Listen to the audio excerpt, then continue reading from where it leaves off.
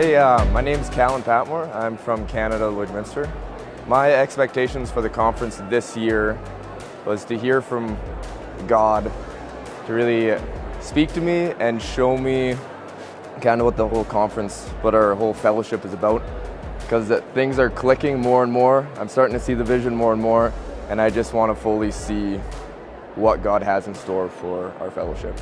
Um, I would like to see a church planted, and I know this may be a biased answer, but I would like to see one planted back home in the prairies. I, I know a lot of people back home say they don't need God, but everybody needs God, and uh, yeah, I would like one to see one planted in the prairies that like we're really spaced out and far apart from each other. So uh, like the closest place would be like Red Deer, which uh, I don't know is like 50 minutes away or 15 minutes away. But yeah, that'd be sweet to see one planted there. Hi, my name's uh, Andrew Hutchinson. I'm from Federal Way, Washington. My expectations from this conference is uh, just going back with a fire, ready to save uh, souls and preach the gospel to people that haven't heard it and the lost souls. Our cities has a lot of hurt people, a lot of uh, people from around the world, and it's just I just want to reach all of them. A lot of uh, Samoans actually, so for me that's they kind of have a have a place in my heart. I would like to see a church planted uh, here in Arizona, Surprise. Uh, it's close to Phoenix. I have some family there, and they've actually been looking for a church. Uh, my name is Carlo Vitale. I am from Gallup, New Mexico. I am looking forward to at conference a, a powerful move of God and also a more deep connection with Him. Uh, where would I like to see a church planted? Ooh, I don't know. Israel, another church in Israel. That'd be that'd be kind of cool to see.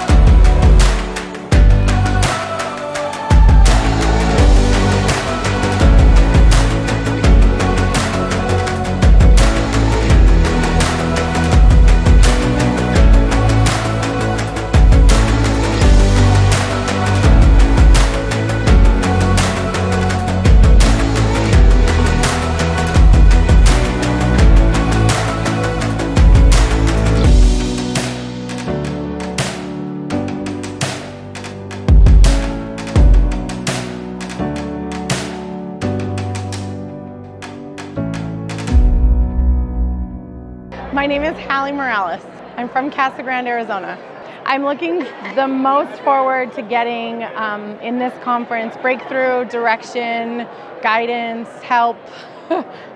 I would most like to see a church get planted in Delano, California. My name is Dwayne Gibson. I am from the West Las Vegas Church. I'm looking forward to getting direction, uh, just a lot of wisdom. Uh, this is an important conference for me. I love always coming down here, being from Pastor Lamb's church. This is really special for me. So I just love hearing just direction, really. Uh, even though I reside in Las Vegas, Detroit is my hometown, born and raised. I want to see more churches in Detroit, and honestly, I want to see more churches in Las Vegas as well. It's a huge city, needs more. My name is Antonio. I am from the Logan, Utah church. Uh, I'm looking for wisdom and stuff to apply to my life especially since I'm a young man. I want to be able to learn how to grow in the things of God and learn how to become a man that I should become and just be able to support my family and just be an example to everyone else around me. Um, I would like to see a church be planted in Cuba or Puerto Rico because uh, my pastor, uh, he would want to send one out there and so hopefully one day I could be sent out.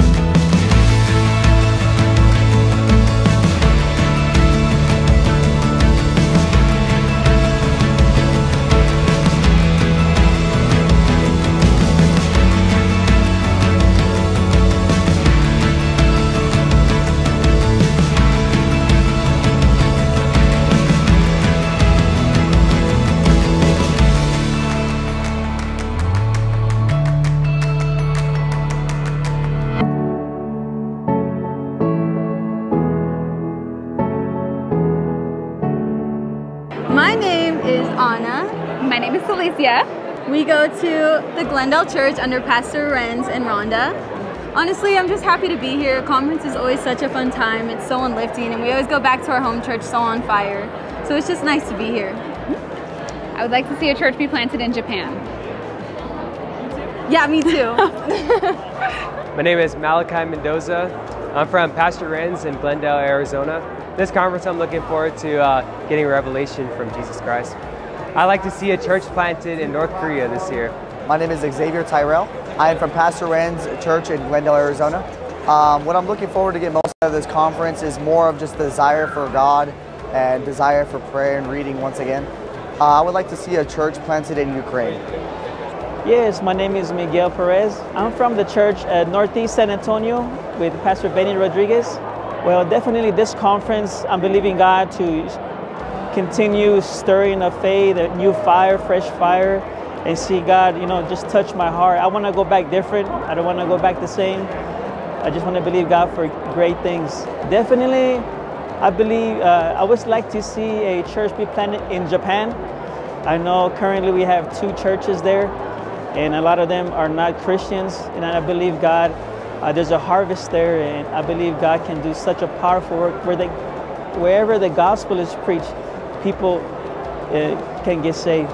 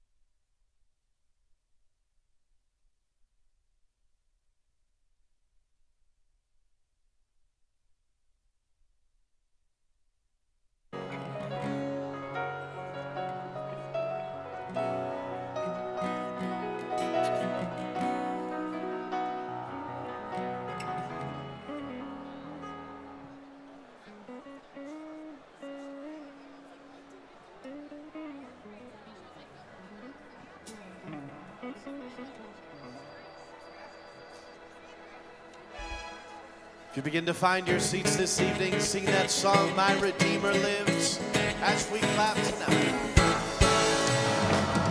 I know He rescued my soul. His blood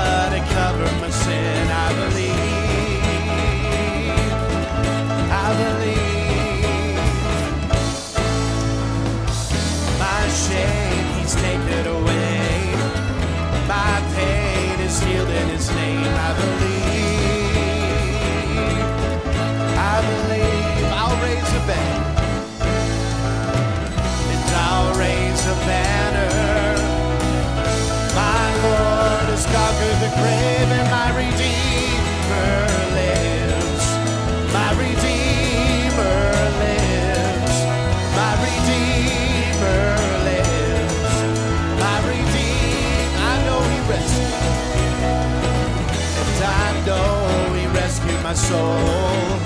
His blood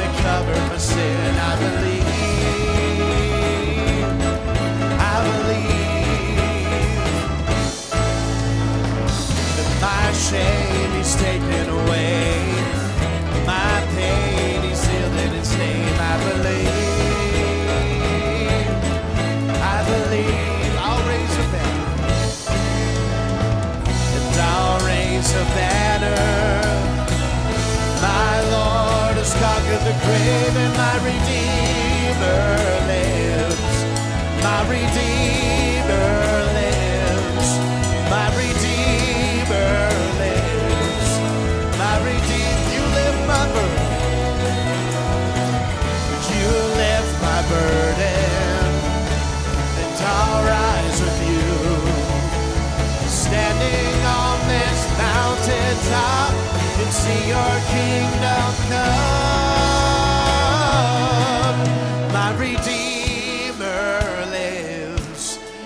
Redeemer lives. My Redeemer lives. My Redeemer, my Redeemer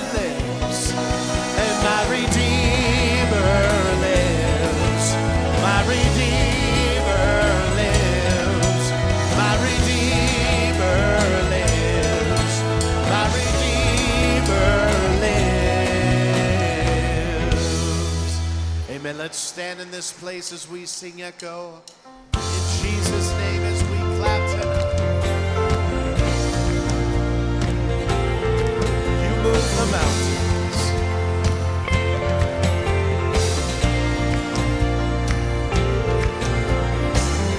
You move the mountains. Told the wind and waves be still. You cast out demons. The empty soul be filled. Now there's breakthrough. Now there's freedom in your name. You gave us power and the keys to do the same. You hold redemption, made accusers drop their stones, showed us mercy mighty miracles. Now there's breakthrough. Now there's freedom in your name. You gave us power and the keys to do sin. Now we proclaim in Jesus' name. Walls fall down in Jesus' name. Strongholds break in Jesus'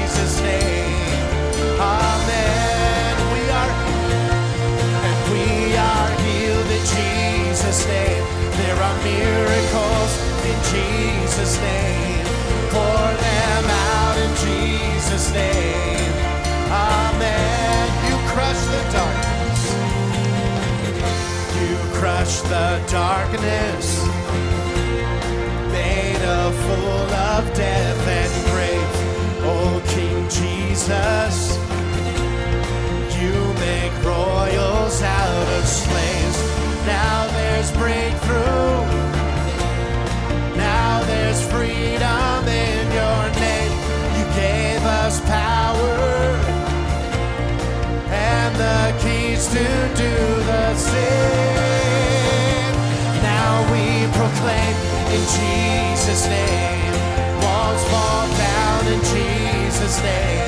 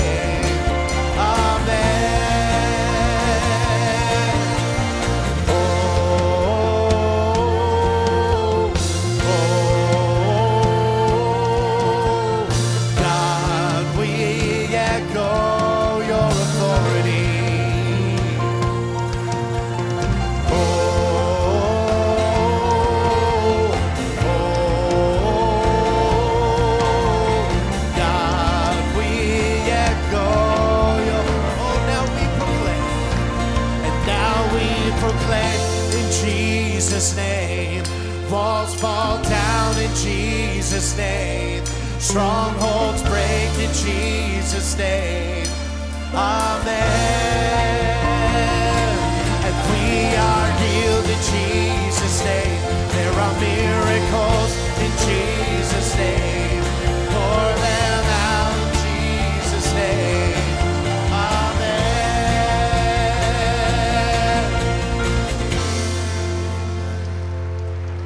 Sing that song, Holy Forever. Generations.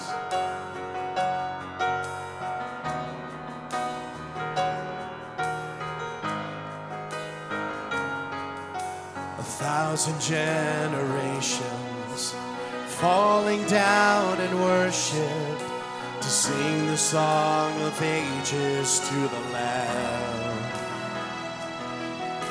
And all who've gone before us, all who will believe, will sing the song of ages to the Lamb. Your name, your name is the highest. Your name is the greatest. Your name stands above them all. All thrones and dominions, all powers and positions. Your name stands above them all. And the angels cry,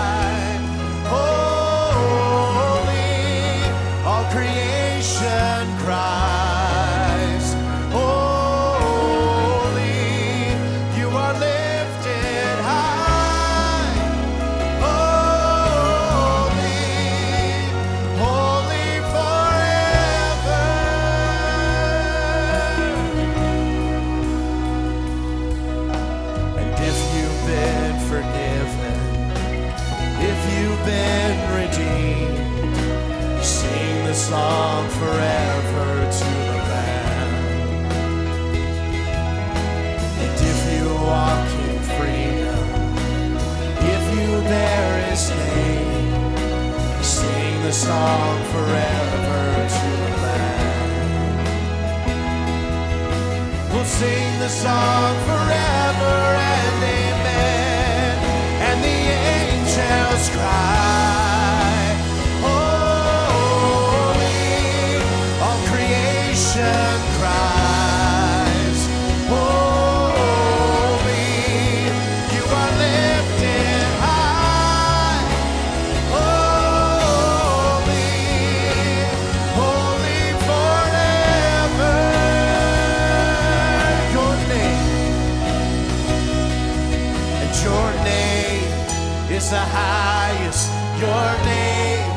is the greatest. Your name stands above them all.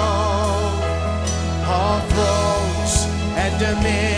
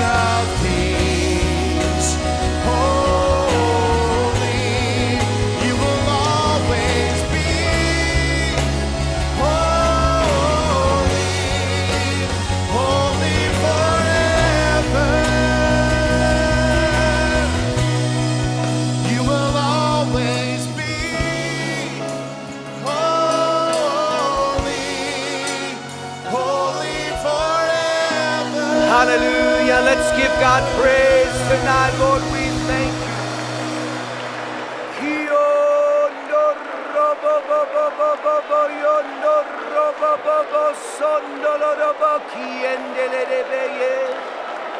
Father God, you are holy, you are worthy, you are mighty.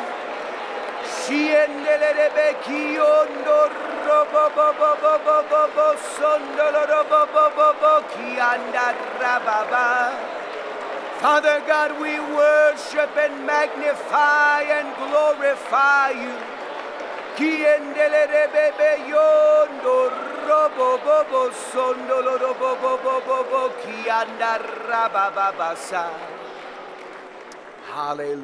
Hallelujah. Amen. Praise God. What a wonderful presence of God in this place tonight. We want to open our service in prayer, have some needs we want to lift up before the conference body. We want to pray for Pastor Anthony Primacero, is, uh, has pneumonia, is in the hospital, needs healing right now in his body. We want to pray for Jensen Krebs from Yukon, Oklahoma, five year old. His temperature rises. When it rises, he passes out. Doctors are trying to figure out why. They believe it's a cardiac issue. We want to pray for him tonight. We want to lift up Pastor Lamont Melrose, uh, his granddaughter. Her name is Olivia, five years old. She's been sick for three years, needs a miracle, is back in the hospital. We want to believe God right now for a supernatural healing in her body. But we want to, before we pray, and lift up this service tonight, anointing upon Pastor Greg Mitchell. We want to share some victory reports because we serve a miracle working God. We had a pastor's wife in the Philippines. She'd been enduring uh, uh, atopic dermatitis and eczema and skin allergy for years, been to many doctors, the rashes from the disease persisted, spread to uh, throughout her body, especially on her face. But praise God, after Pastor Greg's prayer and calling out uh, this that same night, immediately all the itchiness stopped, and the next day suddenly healed. no rashes, the skin completely normal. Thank you, Jesus. Pastor's wife in Australia had been experiencing some pain recently and went uh, for an ultrasound, was diagnosed with an ovarian cyst. She was believing God for a miracle, but watched Monday night of the conference. Pastor Greg called out anyone with growths, please stand and pray. She stood and believed that there would be healing, woke up the next morning feeling completely pain free went back for a second ultrasound. You can put this picture up. The cyst has completely disappeared. She is 100% pain free. God has done a miracle. Hallelujah. Thank you, Jesus. Amen. How many tonight you have a need right now in your life, in your body? You'd lift your hand. We're going to join together in prayer. You lift up your need before God. Uh, let's pray for this final night of our conference. Then Pastor Willis Gordon from San Antonio, Texas is going to pray. Hallelujah. Father God, we thank you. Lord, that we have access to your throne of grace. We take dominion and authority right now over every infirmity, all sickness and disease and injury. We rebuke it in the name of Jesus Christ. By the power of the blood of Jesus Christ, healing virtue. Father God, we commit this service to you tonight. Have right of way, Father God. Anointing upon Pastor Greg as he ministers. Lord God, have right of way in our hearts Hallelujah. Father, we come before you tonight, God. We are a desperate people, God. God, we ask, oh God, that you shall move in this service again, God. Lord, and we come, God, with our hearts open to you tonight, God. Lord, we believe you that you are Jehovah Rapha, God, that you will bring healing and deliverance to every need that is brought before your throne, God.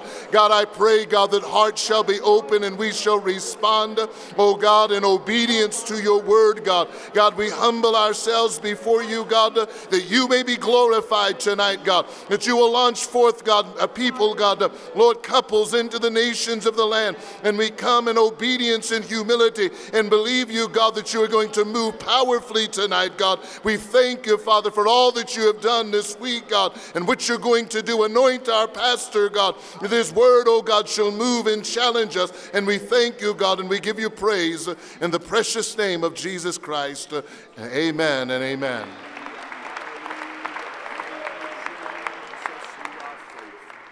Amen. You can be seated this evening. We want to welcome you out to our final night of our winter 2024 conference.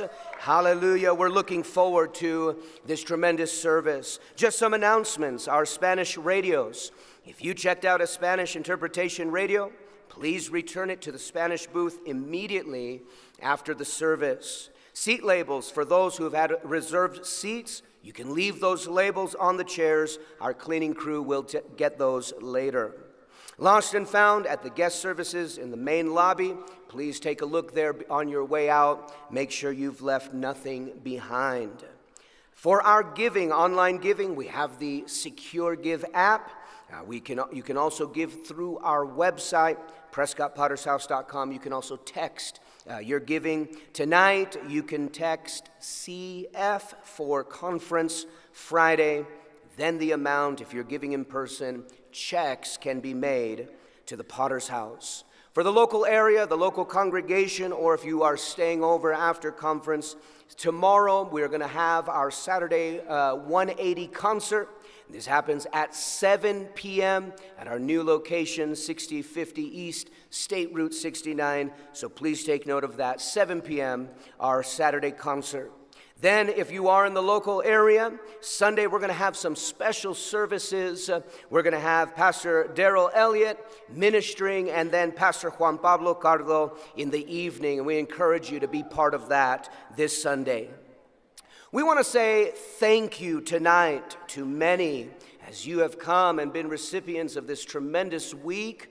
It takes a lot of people to be able to help run a conference and uh, make this all possible. If you will hold the applause until the end of the list, we just want to highlight uh, some names and some teams tonight. We want to thank Bill Bronson and Ed Kidwell, all the delegate planning and accommodation that goes into preparations for this, all of our check in team. We want to thank Pastor Jonathan Heimberg, all the conference printing and the conference video. We want to thank Gary Riley and all of his tech team, uh, keeping things running smoothly uh, uh, throughout the week. Pastor Stephen Cassio, as he oversees all the screens, sound, and visual. Our video and live stream team. We want to thank our security team, led by Brian Renz, our medical team, led by Isaac Solano. We want to thank our refreshment team, uh, led by Lana DeAngelis. We want to thank our sound team led by Neil Mitchell, our guest services team led by Joel and Jeannie Morrison, all of our ushers and our counting team led by Bob and Sharon Allen. We want to thank our musicians and our platform singers led by Brian DeBloy. All of our cleaning team, after you leave, they spend long hours led by Debbie Kays. Our Spanish interpreters led by Diego, Pastor Diego Galvan and Alan Bonias. I want to thank our photographers, led by Brianna Gabaldon, our media kiosk, led by Randy Foster and Tina Hessenauer, all of our nursery and childcare team, led by Rachel Keppel. I want to thank our children's church workers, led by Mike and Liz DeRoyce. Want to thank our parking lot team, led by Pastor Chris Hart and Pete Davis. We want to thank our conference speakers as they have had the mind of God this week, all of our MCs. We want to thank our area police officers. We want to thank our Prescott staff, the, uh, Pastor Diego Galvan, Pastor Cassio, Pastor Hart, uh, Pastor Matt Sanderlin. We want to thank especially Pastor Greg in this cold week that we are in such a beautiful facility to enjoy a week of conference and hear from God. Amen. Let's say thank you to all of these workers tonight.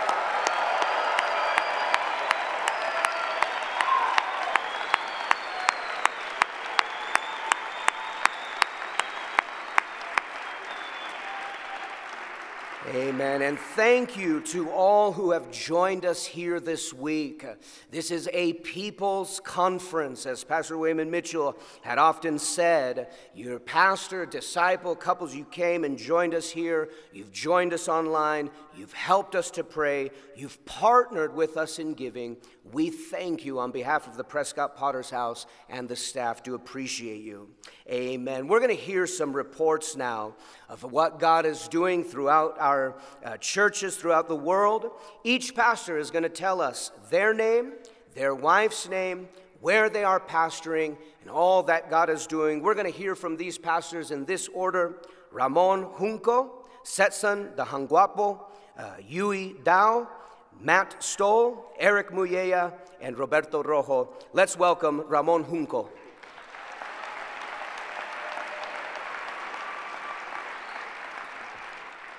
Good evening. My name is Ramon Junco with my ever supportive and amazing wife, Sheng.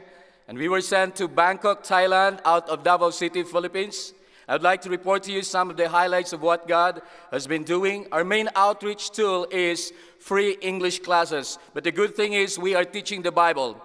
We have one Thai student who had been gone for years. Last month, he sent me a message and told me that the reason why he disconnected from us because he just wanted to work and work and work. He thought that money would make him happy, but he got so depressed and he wanted to take his life.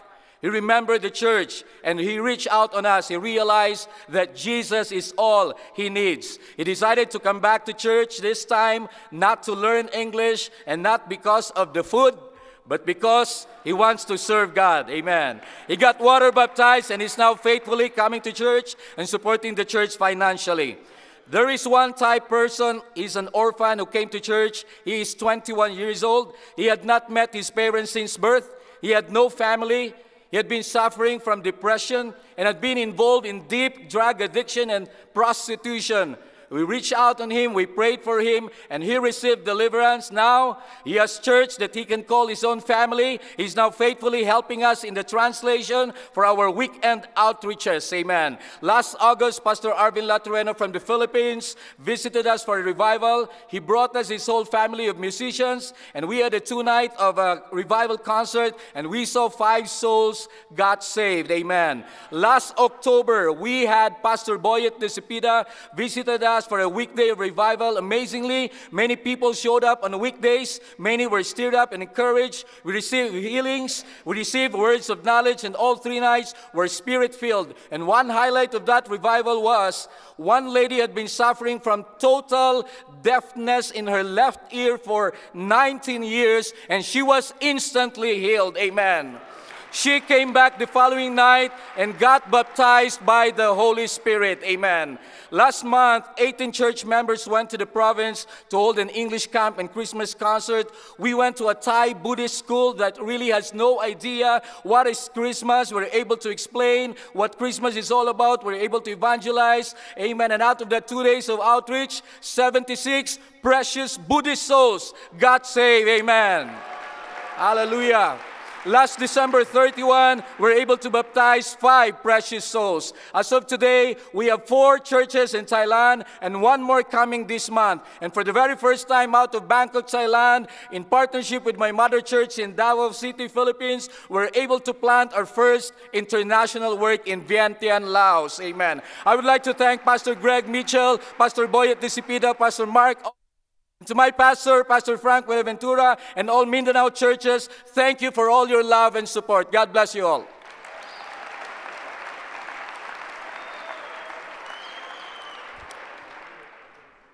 My name is Setson, my wife Mary.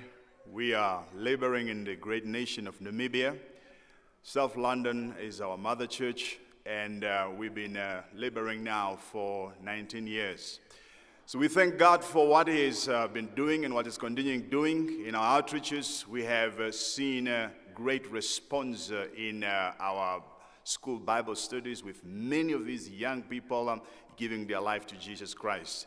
Our conference in March, uh, we have planted five new national works. Hallelujah. Glory be to God. And um, we had Pastor Ajala come to uh, do a revival. In that revival, we have seen uh, 70 people give their life to Jesus Christ, and the church was greatly encouraged. We had, um, um, in um, the last water baptism, we have baptized 42 precious souls in water. Hallelujah. Glory be to Jesus. And um, we also had uh, a privilege to have uh, uh, Pastor Greg Mitchell um, this um, November come and minister. This was a, a, a wide nation rally in which uh, uh, many, many people have been helped, our churches uh, and the pastors. Uh, and 27 people in that, in that time uh, prayed to give their life to Jesus Christ. many got healed. we thank God for that time. Okay, and so um, a lot has happened, uh, and I wanted to understand that God is doing something great. We have people who are very enthusiastic, people who are willing to go out and preach the gospel. And so I want to appreciate uh, the, the following uh, people who made an impact in my life. My pastor, Pastor Fred Ruby, great man, great leader. I want to appreciate uh, Pastor Peter Ajala. He's been the longest uh, pastor uh, in my life and ministry for his uh, support and grace and love. I want to appreciate uh, uh, Pastor Steve Anderson, who have pioneered the church. I want to appreciate uh, Pastor Warner and the Tucson Church for planting the work in Namibia. I want to appreciate uh, Pastor uh, Greg Mitchell for his leadership, his investment uh, in our lives. I want to appreciate uh, my wife uh, for laboring uh, with me and for supporting me all the years that we've been there. I want to thank everybody else who has prayed for us and supported us all this time of labor. Love you all. God bless you.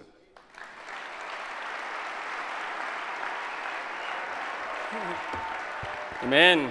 Good evening, everybody. My name is Duy. My wife is Hoàng Vân, and with two boys, we pastor in the church in District 3, Ho Chi Minh City, Vietnam. My pastor, Pastor Boyet de Cepeda, and this is the first time I'm, uh, I'm in the United States and the Prescott Bible Conference. And our church, our church has been established uh, since 2012 and by Pastor Remil, who was sent out from Manila, Philippines, and we took over the church uh, in September 2019, and we have been there on this year. We have seen people, life have been changed, men, women, experience about God, and say became born again Christian, and, uh, and the sinner got healed and delivered, not by the power of man, but by, uh, by the power of, uh, power of God. And even though Vietnam, we cannot go out and give the flyer, and even in Vietnam, we cannot do door by door witnessing, uh, eh, and we cannot do concert and, uh, and movie night in the public place. But God made a way. Uh, by the love, we continue gather people, preach the gospel, so God is saved, and the disciple are raising up, couple, uh, couple respond to the call of God, and we send them out. In 2019, we sent out the first couple, and now we have two daughter church uh, in Vietnam and one missionary in Finland. Okay, God bless us so far. And in June 2022, we are able to have our leader to come uh, uh, for the very, very first rally in Vietnam. And last 2023, we did it again. And there's many great miracles that got done in this year. There was a couple in our church. The wife, uh, he, she had a, tu uh, a tubal pregnancy. The doctor said that she, she, should not keep the baby, and first will be dangerous for the wife, uh, and they have to make decision. Uh, the husband called me, but I don't know uh, what I'm going to say to them. I just told them that like don't make any decision yet. Just like let me believe in God. Uh, they trust God. We pray for them. And the next day, the husband called me again, and he said that the baby already jumped into the right place. And even the doctor, he cannot explain like how it can how it happened. Um, few months ago, the baby was born healthy. Uh, last August, also, we had the revival healing crusade with evangelist Steve Sabata. There was a man has uh, lung cancer and he has still also uh, way painful, even though with daily medical uh, med- uh, medicine and chemical treatment monthly. Uh, he have to travel around eight hours uh, to go to our church, and that's the first time he attended the church service. The first time also he was born for the sinner prayer, and after that, Pastor Steve prayed for him, and after the prayer, the band gone, and he also even went to the hospital to do the check up, uh, check up again, and the doctor said that he had no problem with his lung, and he uh, had been totally healed by God. Um, We'd like to say thank you to Pastor Bart, Pastor Sissy Clark, Pastor Remy Che for your leadership, the Mandaluyong Church, the uh, congregation for your prayer, for your supporting, and the Prescott Church. If there's no foundation, no willingness to go out and facilitate, to give uh, and to support, then there will be no Vietnamese to stand here tonight, uh, born, uh, uh, Vietnamese born again Christian to stand here tonight to give the report. And thank you so much. Uh, God bless.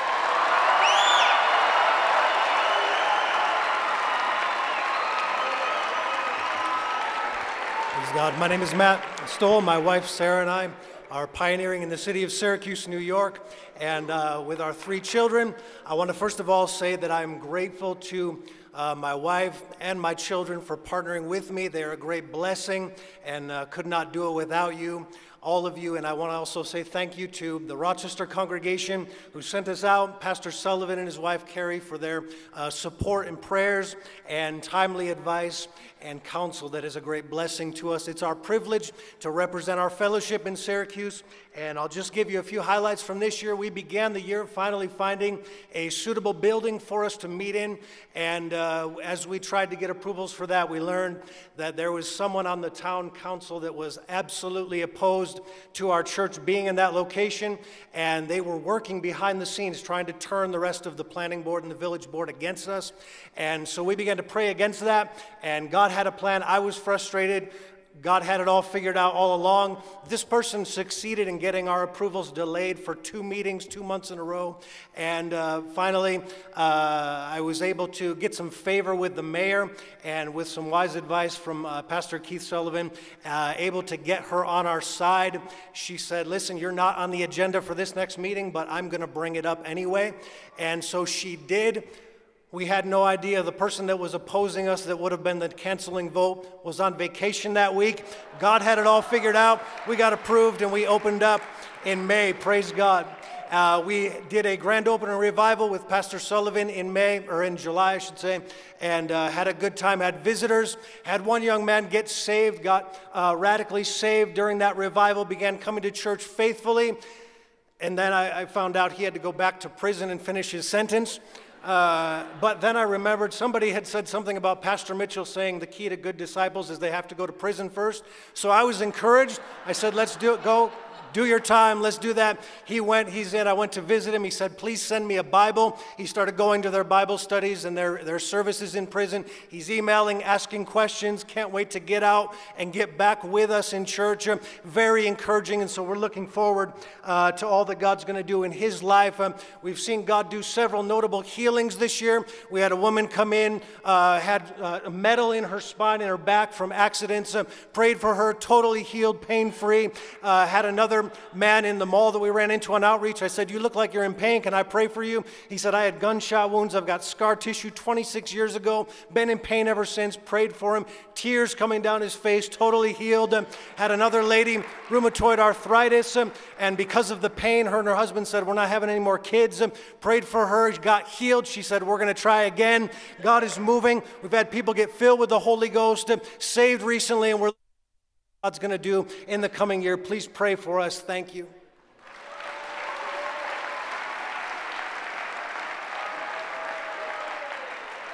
Amen. My name is Eric Muyeya.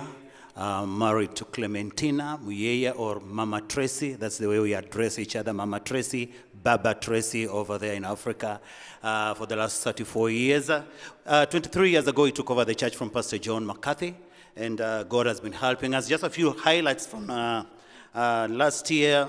Um, there's a lady in our church uh, that came to me the year before that and said, Pastor, I've been diagnosed with cancer in my belly, stage four. And so she, uh, we began praying for this lady. She went for treatment. Uh, we kept on praying for her. And eventually she came back and she said, uh, uh, the doctor gave her a report which she showed me. She was healed completely, totally free from cancer. Amen. Uh, we announced that in the church. But then some people began to say, how can she give such a testimony so quickly? You know, cancer comes back. She needs to take some time. You know, some people are not very good in the church, all right? Uh, so, so uh, we kept quiet, uh, and a year went by, and she took another test uh, at the beginning of la- uh, around March last year, and she was still totally healed. And we thank God for that. uh, amen. Uh, uh, April last year, we launched out a church that we had prayed for at the Nairobi conference. Uh, Pastor John Njoroge, he went, started the, uh, the church in his house, uh, and uh, his house got filled up with people. By the time we got a hall for this guy, uh, uh, um, he already had a group of people, about 20 people coming. Um, we got this hall, um, did a crusade, um, door to door, and we got about um, uh, 62 people saved, uh, and his church got filled immediately. And up to now, it's still filled. The wife has to stand outside, take pictures, uh, to do things like that. So we are looking for another building for him. In May, we had another crusade. Uh, door to door, 86 people saved in August. Pastor John McCarthy came for us uh, and for the Nairobi conference, uh, and he brought me the book. Uh, uh, um, Healing Power by uh, our pastor, Pastor Greg Mitchell. That book has totally transformed my healing ministry. And I'm beginning to see a lot of healings. uh, and we thank God for that. um, uh, in August, that same August, we sent out another church, uh, Pastor Peterson Kilasi. He's getting ready to, as soon as I go back, we are sending him out. um, in September, we had another crusade, uh, 75 people saved. in October, we had a powerful, powerful revival. uh, with Pastor Paki Raj. In India, we have, in Kenya, we have lots of Indians, but they never get saved. So for people to hear there was an Indian pastor from India coming to preach, that brought in a lot of people. And then his wife put on her sari, stood at the gate, gave out flyers. People couldn't believe it. We had a record turnout, uh, and God moved. uh, And uh, this last December, we had a, a crossover service. uh, 15 people got saved. Thank you so much, Pastor McCarthy, Pastor Greg Mitchell. God bless you.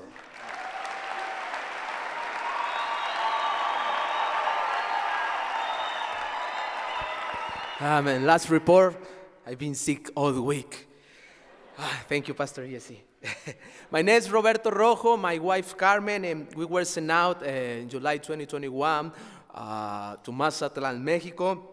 And the last six months uh, has been very exciting for us. People are getting saved, making decisions for God in a supernatural way. One of the highlights, uh, we have been praying for a woman who diagnosed with breast cancer. All the church fasted three days for her, and the next week the result was no cancer. She was totally healed. In August, we had our third baptism, and 13 people were baptized. Four months ago, we got a beautiful building for the church with a children's school, parking lot, and office for the pastor. Amen. Praise God. In the last six months, we had uh, three revivals with my pastor, Pastor Diego, Pastor Humberto Zaragoza, Pastor Juan de Dios Ramirez, and they have uh, been, been great, a blessing for us. People are receiving the Holy Spirit, people are tithing, people are being faithful. Every service, they are praying in the morning, they testify. They all. we now have serious men, serious men on the Sundays, and three men are becoming um, disciples. We are preaching in the streets, doing music concert in the parks. Last month we had a play about Christmas and raffle gift for the children. Six people were saved. Um, December 31, we had a Thanksgiving service for New Year, and I meant to the microphone and say, since I walked through the door of this church, my life has changed. Thank God for sending you to Mazatlan. In my mind, I say, thanks a lot, God, for these people. Beautiful people in Mazatlan. Now, in the church, we are between 35 and 50 people faithful. Let me tell you, God is moving in Mazatlan. I want to tell my pastor, Pastor Greg Mitchell, Pastor Diego Galvan, and my friend Pastor, Pastor Jesse Morales for their trust, for the love and support, for, for a love. We love you, Prescott Church. Remember this, Mazatlan. You remember? Mazatlan, Mexico. Pray for us. Pray for Mazatlan. God bless you all.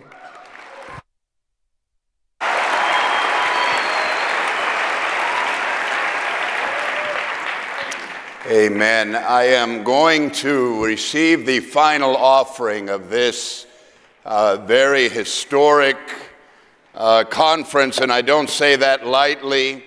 I say historic because things are being done through this conference that have not yet been done in terms of the churches planted, where they're planted, uh, uh, the people that are going to be reached. History is going to be made out of every one of our conferences. The Israeli government is very concerned. The citizens of Israel, and especially the family members of the hostages, are very, very concerned because as worldwide sentiment grows against Israel after this three, now three month war began on October 7th, as this war has progressed, worldwide sentiment mounting against Israel, the propaganda coming out of Hamas and Gaza that Israel are the bad guys, they're the ones perpetrating genocide, etc. They're very concerned that the hostages that were taken on October 7th that are currently still being held under extreme duress are going to be forgotten about. And so, one of the efforts that the Israeli government made was to produce this video that I want you to observe right now. And in this video, they have achieved something that I want to challenge you to achieve this evening. Let's watch the video.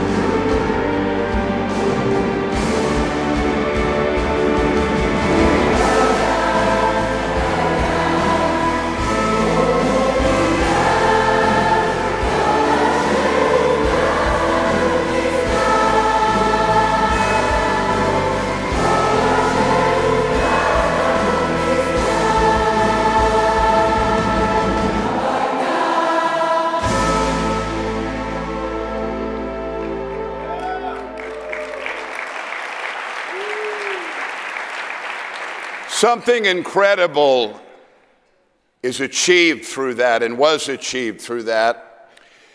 And my challenge for you is to discover whether or not we can achieve that here tonight. There isn't one person of that thousand member orchestra and choir that isn't fully invested in what they're doing. There's a cause. They're emotionally and spiritually uh, and physically completely invested uh, in a single cause. And for the moments uh, that this video was being produced, they were completely unified. One heart, one mind, one single voice. When the temple was dedicated, I just read this in my devotional Bible reading this morning. The Bible says that it came to pass when the trumpeters and the singers were as one to make one sound to be heard in praising and thanking the Lord. A symphony orchestra is about harmony, it's about perfect unity everyone doing their part, nobody doing their own thing, in harmony with others. And in order to be part of something like that, you have to be committed, you have to be invested. In reading about symphony orchestras in general, the path toward becoming a member of an orchestra involves obtaining an advanced music education and receiving specialized training, and most importantly, uh, not being concerned about your name being in the forefront. You're part of a whole. Many acting as one. A symphony orchestra is one sound, one voice, many musicians. And tonight, my inspiration is that you are God's symphony orchestra who has been gifted by God in a lot of different ways. We are going to scatter from this conference uh, and literally go into all the world, back to our churches uh, in our cities and nations, uh, and continue preaching the gospel. New churches are going to be going into their venture for Christ, and we're unified in taking the gospel to the world. But the particular challenge for us tonight is to act as one, one voice, as we receive an offering to cover the finances of this conference. And the question is can we achieve that kind of unity tonight? Everybody contributing, everybody participating, everybody is playing their instrument with all their heart, with all they have. Your instrument tonight is your giving. Your instrument tonight are the resources that you have. Can we join together as a about a 3,000 member symphony orchestra and produce a command performance that will give joy to the King of Kings and the Lord of Lords? In the book of Acts, chapter 4, this is precisely what they achieved. The Bible says in Acts 4:32, now the multitude of those who believed were of one heart and one soul. Neither did any say that any of the things which he possessed was his own, but they had all things common. And with great power, the apostles gave witness to the resurrection of the Lord Jesus, and great grace was upon them all, nor was there anyone among them who lacked. For all who were possessors of lands or houses sold them brought the proceeds of the things that were sold and laid them at the apostles' feet. And they distributed to each one as anyone had need. And Joseph, who was also named Barnabas by the apostles, a Levite of the country of Cyprus, having land, sold it and brought the money and laid it at the apostles' feet. We have a cause this evening. And the cause should pull all of our resources, our hearts, our attention, and our focus together so that we all act as one right now. Our resources are not our own. What, a, what an incredible statement that was. Probably two weeks before this, a week before this, a few days before this. They didn't view their possessions that way. They viewed their land and their houses and their bank account as their own.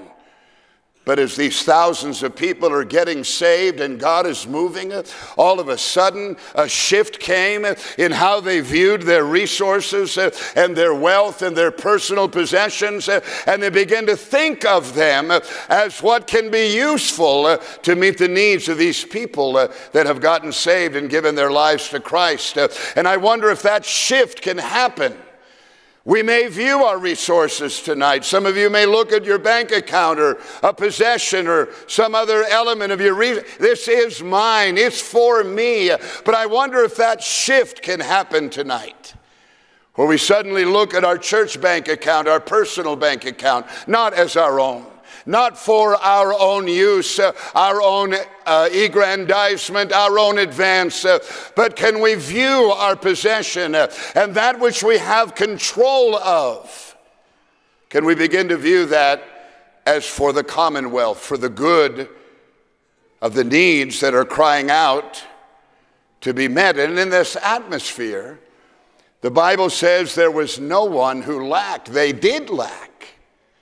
But when they gathered together And God's symphony orchestra began to play in unison with one voice, uh, and they gave. Every need was met. There was no lack. What an incredible miracle and an incredible atmosphere that describes. It was accompanied by great grace, great power, something God was pleased with. And the Bible says finally that they laid the money at the apostles' feet. Who can forget this picture? When Pastor Mitchell Sr. laid hands on our pastor, Greg Mitchell, and a supernatural transference occurred in that moment as the mantle of leadership began to weigh upon Pastor Greg. It was already there, but this was official. This was a supernatural dimension uh, as God put upon Pastor Greg, our pastor, uh, uh, the mantle of leadership. Uh, and it is under his oversight that we receive this offering, and it's noteworthy. Uh, the Bible there says that uh, they laid the money at the apostles' feet. Uh, I trust uh, Pastor Greg Mitchell uh, with any amount of resource that I can give into this offering tonight because I know under his oversight, as was the case with Pastor Mitchell Sr., it's going to be well spent. Needs are going to be met. It's not going to be used for self, it is going to be used for the advance of the kingdom of God. I mentioned a command performance. That is when a king or a president or a prime minister requests a performance. I want this symphony orchestra to perform on this particular day in this particular place. It's called a command performance. And when that is requested and when that occurs, it is just that it's a command. Everybody gets their act together and a venue is made available and the audience gathers together and all the musicians are there because the king is present. Well, tonight the king has requested a command performance by all of you. And here we are as God's symphony orchestra. We are to speak tonight with one voice. We are to take the instruments of our resources and our wealth and pull them together to meet the incredible needs of our conference $600,000. We could raise that in one single offering tonight. There are pastors that you need that shift to occur. You may have wealth and resources. You could tap it to, to, meet the need. And I'm praying that that shift would occur. God owns the cattle on a thousand hills. Whatever you give tonight, He can replenish tenfold. Can you say amen? And I am going to give with faith tonight. I am going to give tonight believing God. I want the Lord to look down at this command performance, uh, and I want him to know uh, that Paul Stevens uh, did the very best that he could. He gave his best performance for the King of Kings and the Lord of Glory. What can you do tonight? What will you do? Can we harness the unity that was achieved by this orchestra, by the church in the book of Acts, in Acts chapter 4 that I read about, because if we can, we are going to see great power loosed uh, as we testify going from this place uh, of the resurrection of Jesus Christ. Let's give God praise as the ushers come. Pastor, I'm challenging you. You are a primary member, you are a holder of resources and wealth. There are others here. It wouldn't be any problem for you to write a check for a thousand or five thousand or ten thousand. Tonight's offering is not last night's offering. If you want to give that, you can, but don't cheat the Lord. Tonight requires another offering of an extraordinary amount. There are various ways of giving. You can take out your device right now and lay hands on that device. Amen. God, you speak to me about what the king expects of me in this command performance. Let's rise above tonight. Let's give by faith. Let's believe God for the biggest offering, the greatest offering, the biggest avalanche of finances and resources pouring in tonight. Uh, we're part of something so incredible, it's beyond description. And I want all of us, as they did in the book of Acts, to enter into a supernatural dimension where God responds to this offering with an outpouring of His power. I'm going to do my best to see that that happens, uh, and I want to challenge you to do the same. Our heads are bowed. Oh God, touch every pastor, every pastor's wife, every disciple, and every delegate. Lord, I pray your voice would be heard loud and clear. I pray for sacrifice tonight, for viewing our wealth and resources, that which we have command of, uh, as not our own, but that which is useful to meet the needs of this conference uh, and to lay at uh, Pastor Mitchell's feet for distribution to meet every need, Lord. I loose finances, I loose a supernatural, miraculous offering tonight that will abundantly meet every need and go way beyond that, Lord. and then we will watch for and look for the demonstration demonstration of power that's going to be loosed uh, as you respond to what is done tonight in this offering. Uh, and we thank you in Jesus' name. And all God's people said, Amen. Let's worship the Lord as we give tonight.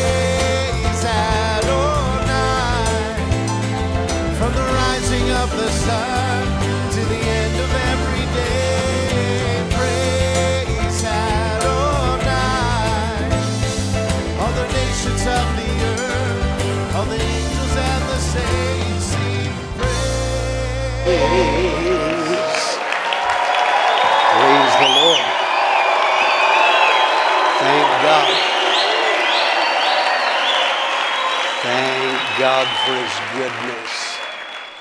What an incredible conference we've had. And here it is already, the final night. I just want to add my thanks to every single one of you that have been here laboring in prayer. Thank you for every one of you that have given and uh, helped make this possible that we get to do the will of God. Everyone online as well that has participated. I really am grateful for that. It's, it's, I often, my friends or people that are on the platform with me, I often just turn to them and say, Can you believe that God lets us be a part of this? That is still incredible to me. Thank God. If you have your Bibles, turn with me to the book of Genesis. Chapter 12. In 1804, President Thomas Jefferson commissioned a man named Meriwether Lewis to explore the land that had been purchased. It was called the Louisiana Purchase. This was the land extending to the west coast. Um, and uh, this had been purchased. But even though we bought it, we didn't know much about what was there. So Meriwether Lewis and uh, uh, his partner became the Lewis and Clark expedition. They set out, they spent over two years exploring and mapping the land. And they did this, they entered into what had been intended by the purchase. And by doing so, they opened the way for others to follow. The text that we are going to read Abraham enters the land that God intended. And what we're going to see, this conference is foundations. I preached on the foundations Monday night. Much of that had to do with the practical dimension of foundations. In this, we are going to see some heart foundations. And something that was in Abraham or Abram, as he was called then, that enabled him to enter into all that God had for him. But it's the same three heart issues that have to be in every single one of us. If you want to enter the land, you're going to have to have these things at work in you as well. I want to preach about entering the land, Genesis 12, 4 through 9. So Abram departed as the Lord had spoken to him, and Lot went with him. Abram was 75 years old when he departed from Haran.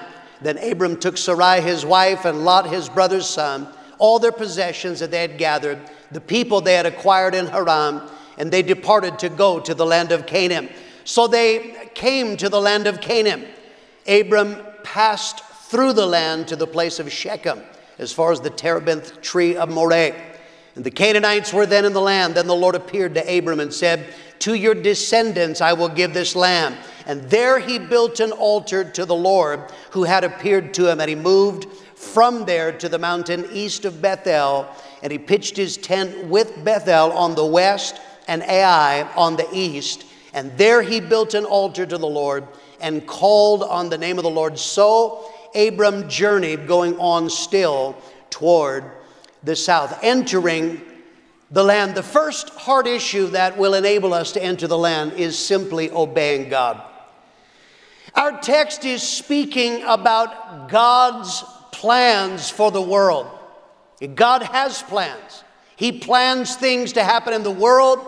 He makes plans for our churches. He makes plans for our individual lives.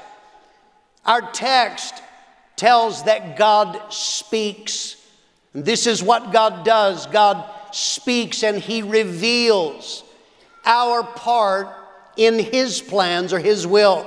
Genesis 12 1 Now the Lord had said to Abram, Get out of your country, from your family, and from your father's house to a land I will show you. Now God is speaking, and He speaks in different ways to different people and at different times. For one, it might be a sermon. There are people this week, a sermon, many sermons have spoken to you personally, the issues of your heart, your life, your future. For others, it might be a supernatural word from God by the gifts of the Spirit. Another, God will speak through Bible reading, prayer, sometimes perhaps even a voice. God can speak through correction, but God speaks. The problem is that some people refuse to do what God told them to do. Jonah 1 3, God had told Jonah, I want you to go to Nineveh, but Jonah 1 3, but Jonah arose to flee to Tarshish from the presence of the Lord. This is the problem. God will speak things that maybe we don't want to do. And it's understandable. I want you to go to the desert of Iraq. And he said, the coast of Spain sounds much better. I refuse. And he gets in a boat going in the opposite direction. Other people, they're like Abram in our story. Abram didn't outright refuse, he delayed. And many people, that's what they do. Genesis 12 1 says, Now the Lord had said to Abram, and he's referring to chapter 11. The Bible says that God had spoken and revealed his will in some ways. They started on the journey, but in Genesis 11 31, they came to Haran and they dwelt there. He spent years in Haran. They were supposed to be in Canaan. He wasn't refusing, saying, I will never go. He's saying, I will go, Soon. But it has the same effect. You're not in the land of Canaan. You're not in the place, in the will of God, doing what God wants you to do. This is what many people do. They say, I will, but not yet. Yes, Lord, as soon as I get situated. Absolutely, God, once I get my financial security arranged. So whether you refuse outright or delay, disobedience is what stops the will of God. For some, it stops God's will temporarily, like Jonah, until they repent. But others, it stops God's will permanently. The rich young ruler went away sorrowful. He was never heard from again. There was no later time when he sorted out uh, the issues of his heart. This is so simple. If you were hoping for me to explain Nephilim tonight, this is not going to happen tonight. The foundations of our fellowship are this simple it is obedience. Because it is the will of God is released by obedience. Verse 4 So Abram departed as the Lord had spoken to him. It is not until we begin to do what God told us to do that the plans of God begin to be activated. It's all theory. God may speak, but it is not real in your life until the moment that we obey. And our text says, So Abram departed as the Lord had said. See what obedience does? Obedience releases further revelation. Verse 7 Then the Lord appeared to Abram and said, To your descendants I will give this land. What's that then, therefore? It is after verse 4 so Abram departed as the Lord said. This is how God works. He will tell you something of His will, He will begin to work His will in part, but not until we obey does it release more and further revelation. Moses saw a burning bush. God was attracting his attention by a miraculous sign. He said, He responds, I will turn aside and see this great sight. And it was then that the Lord began to speak. God did not just call out from the bush, Moses, it's Egypt, that's your destiny. Because this is what God does obedience, doing what the Lord has said, is what causes us to receive more. Mark 4 25, or whoever has, to him more will be given. Has means using what you already have. God says, if you use what I already have given you, if you do what I've already told you, then you will be given more. A pastor took over a church. He was new there. He preached the first sermon. Everyone was pleased. This guy, that was a very good sermon. The next Sunday, he preached the exact same sermon. And they're all looking at each other. They were very puzzled, but they thought, you know, maybe the move or whatever. Third Sunday, he preached the exact same sermon. And finally, someone said, um, Are you aware that you preached the same sermon three times in a row? And he said, Yes. And when you begin to do what I preached the first Sunday, I'll preach something new.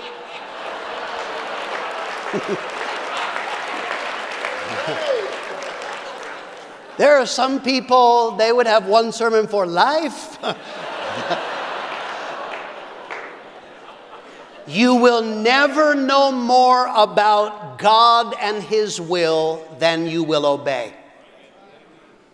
You will never, I'm going to study, you're not going to know more about the will of God than you are willing to obey. And our text says that it has to be ongoing or continued obedience. Verse 6 Abram passed through the land to a place of Shechem, as far as the terebinth tree of Moreh. He starts to enter into the promised land, and God is careful to say he passed through. God is trying to say something. If you have started doing right, don't stop. Because it is common that people begin, they are stirred in a conference, but then they get sidetracked.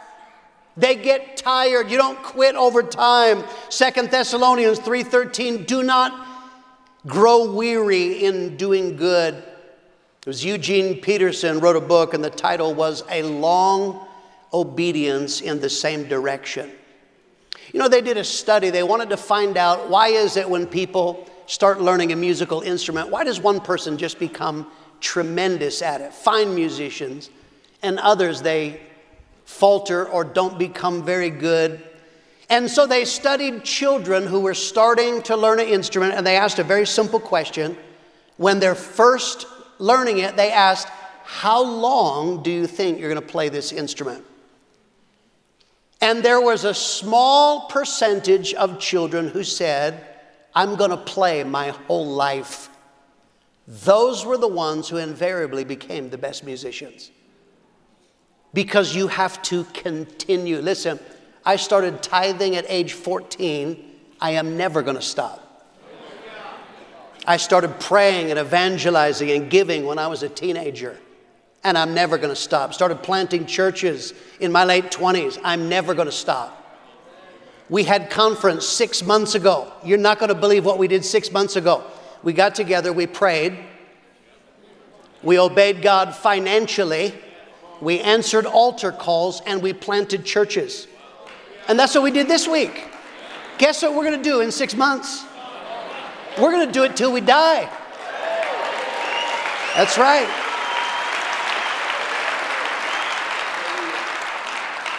Second heart issue is seen in our st- story, and that is if you want to enter the land, it has to do with pitching tents. Life has a material dimension. We all need places to live, food to eat, clothes to wear, money to pay bills. We live for God. In fact, we minister for God while dealing with the material dimension. Elijah needed food. Elisha needed a place to sleep um, and to work in his ministry. Peter needed money to pay taxes. But our text says the decisions we make about money and the material dimension is literally going to determine our future. Our text is very specific. He pitched his tent with Bethel on the west and Ai on the east. Bethel was the place where Jacob made a covenant with God to tithe.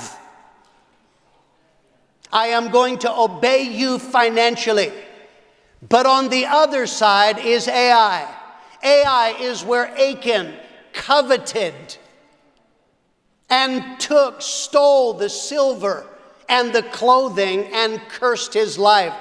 Financial obedience on one side brings blessing, financial disobedience curses your life. See, the will of God always has a financial dimension to it. I want God's will. Okay, but you're going to have to make right decisions about money. The danger is when the decisions of life are based on money and not God and His will. Genesis 13 11, then Lot chose him all the plain of Jordan. Bible says it was well watered. In other words, I could make a lot of money there. There's a city I could sell stuff there. So he chose no record of praying, no record of seeking godly wisdom. I want the money. There are people, oh, I want to get to heaven. Oh, I would love to do God's will. Uh, no, I can't come to church. Why not? I'm making money. I can't be involved in outreach. I got to work. I can't be a disciple. I can't respond to the call of God because of money. I have to have a certain lifestyle. There are people here, you want the will of God, but you won't stop spending. You're so far in debt, if God Himself appeared right now, you would say, I just can't. There's no way I could afford to go do the will of God. There are people here this week. You heard five challenges of giving. You could participate in God's will and you wanted to, but you can't. King Jesus spoke to you, but the problem is King Visa says no. King Amex says no.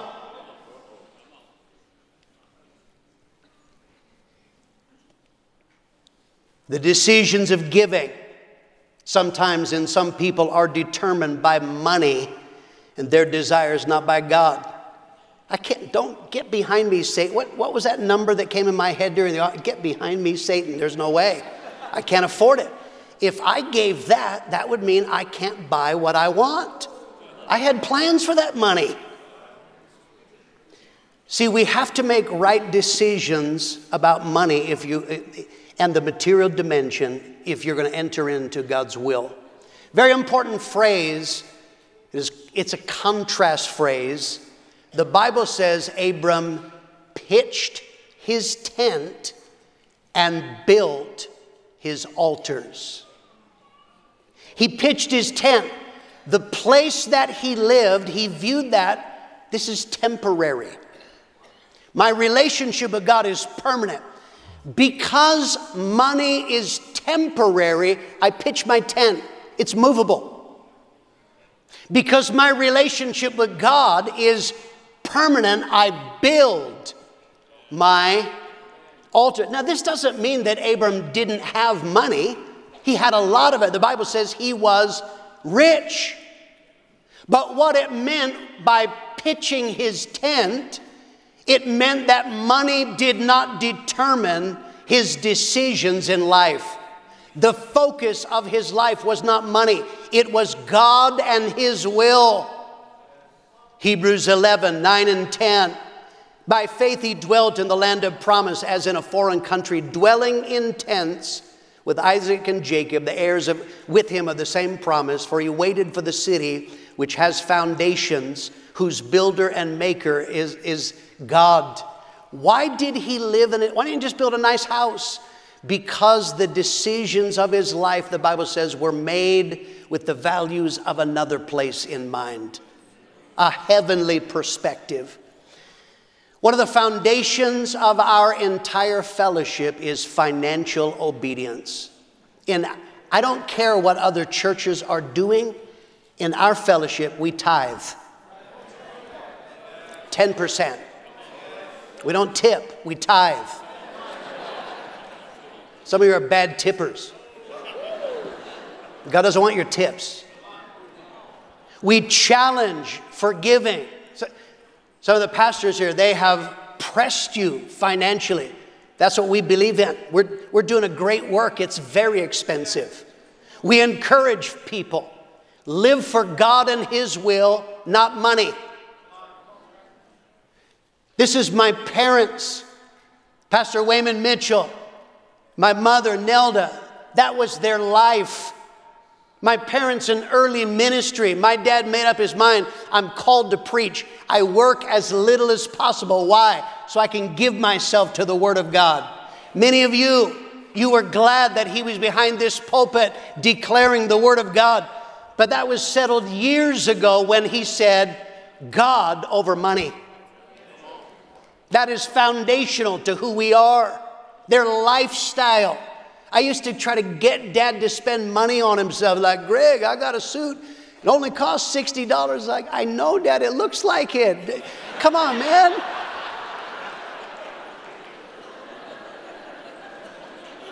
Is giving, generosity, giving to God, giving to people. But you see, every person you have to make your own decisions. Listen, there is a land, there's a promised land waiting for you. I can't make your decision. My dad made his own decisions. My wife and I, we make our, I cannot make your financial decisions. But you have to if you're going to enter the land. Have a young man in our church, every conference he would get stirred. Oh, Pastor, I'm stirred. It would last three days. I think one time it lasted actually four weeks. That was the record. And then he would be submerged again. Next conference, oh, Pastor, I'm stirred. He did that for nine years. Another conference came around. Oh, Pastor, I'm stirred. This time after conference, he said, Pastor, I don't know if you've noticed, but I tend to get excited at conference and then it, it just kind of lasts a few days to a few weeks and it's like, no. and then he was honest. He said, Pastor, the problem is I'm more excited about making money than I am about my calling. And he said, How do I change that? And I said, Ask. Ask God to do a miracle and give you a love, a passion for His will. And He did. He did that privately. He said the next day after praying that prayer, he got a call. His, his jam in life was investment properties. That's what he was really excited about.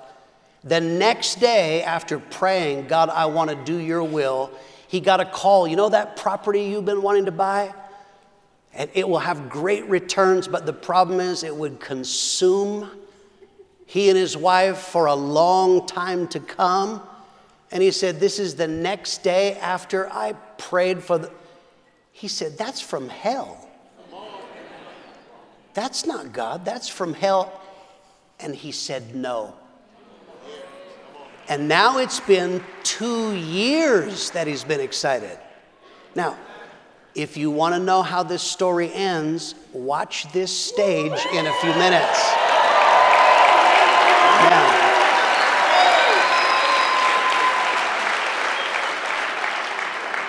the final heart issue we see in our scripture is simply building altars. A mark of Abraham's life was building altars. He built four of them in his life. Altars are a response to revelation. Verse 7 Then the Lord appeared to Abram and said, To your descendants I'll give this land. And there he built an altar to the Lord who had appeared to him. You know what the altar is for? The altar is where you personalize what God spoke to you. You've heard preaching this week. The point of preaching is not that you vote like an ice skating competition, you know, 6.2, negative 3, you know. The point of preaching is not so you say, so true. The point is be, when you get before God and you say, that is for me. God, I heard what you said and I agree. That's what an altar call is when you come and say, God, I heard what you said to me in this message. Altars are a place of worship. He built an altar to the Lord, verse 7. You worship something higher. God speaks things because He's higher than us. He has the right to ask or tell us anything. And when you build an altar, you are saying, you are higher. I agree with your plans in life. Altars are a place of sacrifice. Often an animal would be sacrificed when you responded there, or, or as in Jacob, he poured out valuable oil. Sometimes what God is telling us will cost us. That's the point. It will hurt. It will be a sacrifice. I didn't really want to do that. That's what altars are. See, altars can be in different places. They can come in different ways. For some people, it's literally. Some of you, there was a spot in the carpet, in the aisle, or at the front that was an altar for you this week where you responded to revelation. For some people, it's a building, a location, a moment in time. But our text says two times he built an altar to the Lord. Altars were built of stone primarily, it was something lasting and permanent. Again, please note, he pitched his tent. That's movable, that's temporary. But he built the altar. I want to ask you a very simple question Where are your altars? Where has God spoken to you about your promised land, which is His will in your life? I want to show you a few of the altars in my life. First photo here. This is 41 Walcott Street in a suburb called Mount Lawley in Perth, West Australia. I was 16 years old. I was going to Australia just for a look. It was in that building. I'm minding my own business. Dad is doing a discipleship class on how to study and how to preach, which has nothing to do. 41 Walcott Street, God spoke to me in that building and He said, That's what I want you to do. That was not on my agenda at all. It was in that building. I bowed my knee and I said, Yes. And I immediately began to give myself to the Word of God. Next picture. This is 146 Beaufort Street in Perth. It's just down the road from that building. It, this used to be the Church of Christ. We rented this for conference. It was in that building that Lisa and I were watching a conference video. It was all about the Philippines, the footage. And in a movie about the Philippines, God spoke to both Lisa and I and said, I want you to go to Africa. It was the first time I'd ever heard the call of God Lisa heard it too that God wanted us to be missionaries. And it was in that building we turned at our seats and made it an altar and we said, Yes, we will go to Africa. Didn't know how, didn't know when, but that's exactly what happened. That's an altar. Third altar in my life is 62 Scarborough Beach Road, the suburb of Scarborough in the city of Perth.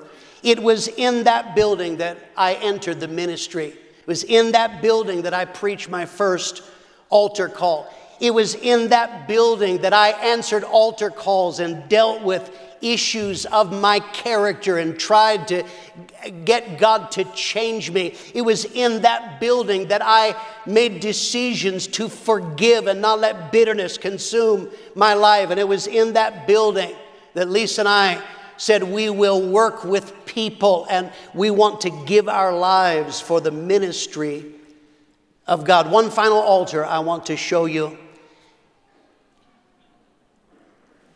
It was in an airplane. I told this story, I won't tell all of it, in the last memorial stones, number 30. God had supernaturally spoken and it spooked me. He told me He wanted Lisa and I to go to the nation of Turkey, and I did not want to go. I, I, booked a ticket in obedience. Yeah, okay, I'll go for a look, but I am not into it. was in an airplane. I am wrestling. People, they looked at me. I don't know, they probably thought I was a crazy dude talking to myself. I'm like, I do not want to go to Turkey. God, I'm going to Turkey, but I don't want to go to. But I had made a deal years before God, whatever you want me to do, obedience is what releases the will of God. And it was on a British Airways flight between Johannesburg and Istanbul. I bowed my heart and I said, God, I don't want to go to Turkey, but if you want me to go, we will go. It was a test. God didn't want me to go to Turkey, He wanted me to come to Prescott. But He wanted to know it's great when you talk about the story. Did I ever tell you about the time that I said yes to God? Yeah, but you're 105 and that was like a long time ago.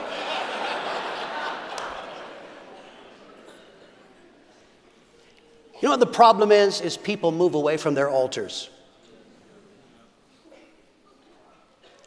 They become different people. They now have different responses than when they built altars to the Lord. What happens over time is people, they start pitching their altars and building their tents. The will of God now is movable, it's changeable. Some people need to return to their altars. Genesis 31 13, I'm the God of Bethel, where you anointed the pillar and you made a vow to me. Now arise, get out of this land, and return to the land of your family. You know what has to happen? Every person, I can't do this for you, you got to do it for yourself you have to honestly examine your own heart and say, Am I still the same? Am I still doing what God told me at the altar? Those buildings that I showed you in Perth, West Australia, I'm going there in March. Every time I go, I go to those buildings. And it's not just nostalgia. I, I got fond memories of those places. That's not why I'm there. Part of what I'm doing is God, is the answer still yes? When I told you yes in Walcott Street, when we told you yes in Beaufort Street, we said yes in Scarborough Beach Road, is the answer still yes? I have to check my own heart because that's the only way you can ever enter in to the promised land, and that's how you survive over time. Final thought is that altars are a place of proclamation. Verse 9, he called on the name of the Lord. The word call there partly means as though he's talking to God, but the word originally means to proclaim. To proclaim. Altars are personal, but they are not private. Other people, they will see and hear of your altars. Your family will know it. Abram's servants would hear about it and see it. The Canaanites were in the land. What is going on here? He is proclaiming, I belong to God. And I want to say something to you. Your ability to proclaim effectively is dependent on your altars. You know the, the common statement that many pastors make? I can't get these people to pray, give, surrender to the call of God. My brother, maybe your altars are missing. Maybe you're trying to get them to surrender to something you have moved away from. Because the only way it works, see, it's not in for preaching is not information. When you preach who you are, it's a life. And if you have moved away from your altars, you have no hope of ever getting people to come to theirs. I close with the story of Alexander Duff. He was a veteran missionary to India.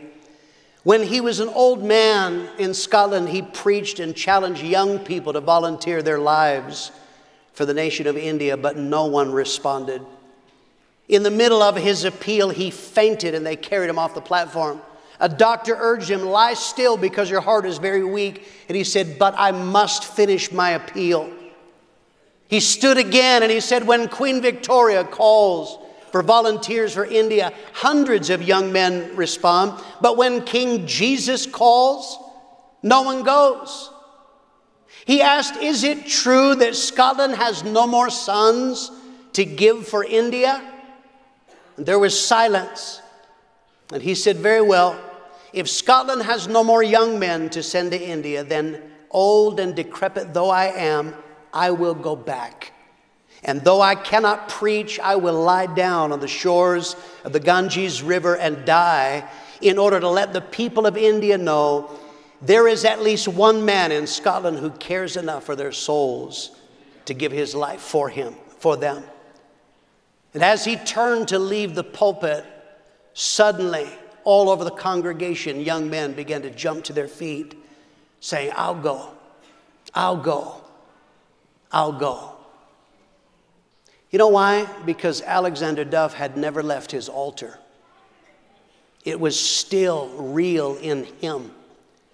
And when you're all, listen, 41 Walcott Street is as real to me today as when I was 16 years old. I have never forgotten it, and I deliberately never forget it. 146 Beaufort Street, it's, it's, it's in here. It's alive in me. And as long as I always in my heart return and build the altar again, then my prayer is by the Spirit of God, He will cause other people also to respond. My question as I close is what impact will the altars of your life have on other people? Let's bow our heads, close our eyes all across this place. Thank God, with heads bowed. Now I bring you to a challenge, and the first and greatest challenge of all is that there are people here you are not right with God. You need Jesus Christ to save you. You need God to do a miracle on the inside. The will of God in your life can never begin until you say yes to God and you say no to sin. What you need to do is pray and turn from your sin. Surrender your heart to Jesus Christ. How many people are here in this building? We're going to make great announcements in a moment. If you're not right with God and you want to pray tonight and turn from your sin, you want to say yes to Jesus Christ. What you need to do is pray and surrender your life to God. If you want to do that right now, while our heads are bowed, I want you to lift your hand so I can see it. Pastor Greg, I need Jesus. I want to get right with God all across this place. How many would there be? At the back, God bless you. How many others? Lift up your hand. Lift up your hand. I need Jesus. Lift your hand right now. God is dealing with people. How many backsliders? Backslider, lift up your hand. I want to come back to God. You got away, you surrendered before, but you went back to sin. Backslider, lift up your hand. God loves you. He wants to do a miracle in you. Others, you need Jesus.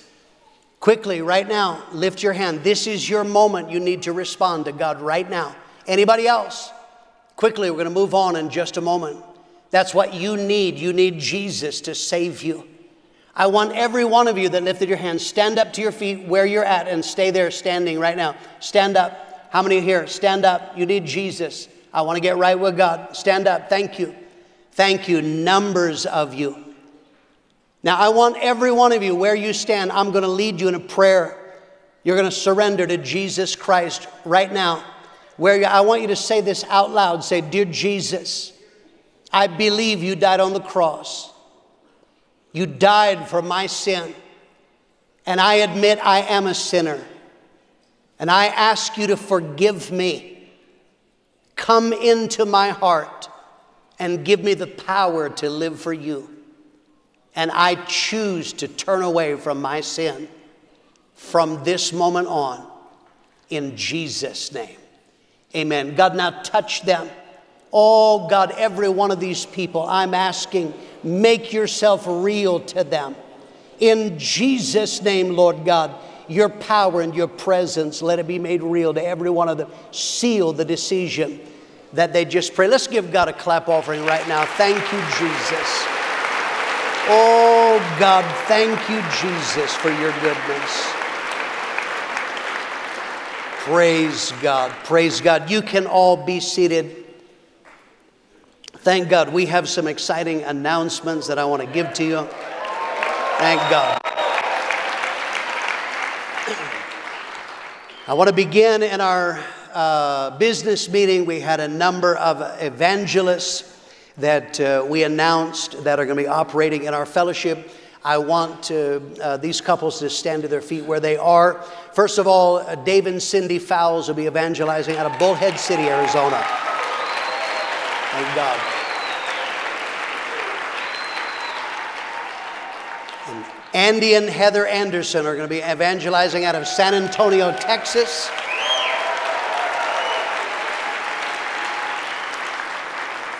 And uh, Vitali uh, uh, Glopina and his wife are going to be evangelizing out of Tempe, Arizona. Thank God. Jerry and Jenny Sarabia will be evangelizing out of El Paso, Texas.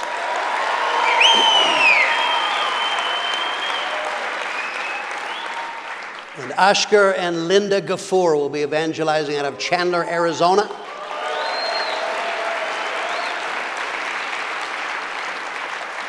And Jan Willem and Miranda van Dam will be evangelizing out of Arnhem in Holland. Thank God. Thank God. Then last night we uh, announced some international churches. I want to begin with those. Two of these couples are here and they're going to come. Uh, first of all, we announced going into El Puerto Santa Maria, Spain. That's in uh, Madrid. This is uh, out of Prescott, Arizona, Oceanside, California. Matt and Claudia Stowe.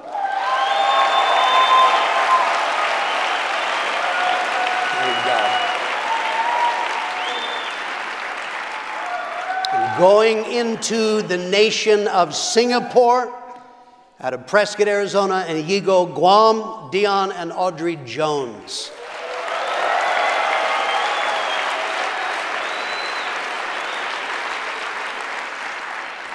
And then we have uh, couples that are not able to be with us. We'll have their uh, photos on the screen. Going into uh, Barquisimeto, Venezuela, out of Arequipa, uh, Peru, Miguel and Ana Castrillo. And their photo will be up here. Thank God. Yes. And their photo, I apologize because I don't look back. If I look back, you'll see my bald head. And so um, I didn't have their photo last night. I do apologize. That was, uh, that was on me. I didn't realize when I forwarded it, didn't have. Never mind. It was my fault. Okay.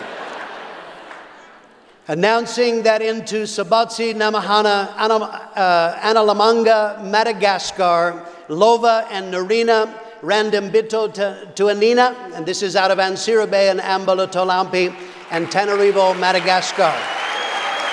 Amen. And then into uh, Ampana Toavona, uh, Vakinankaratra, Madagascar, Etienne and Harasoa, Rahiri Nirina. And that is out of Antsirabe. Thank God. And then going into Bucaramanga, Colombia, out of El Paso, Texas, in partnership with Prescott, Gabriel Melissa Ruiz. Thank God.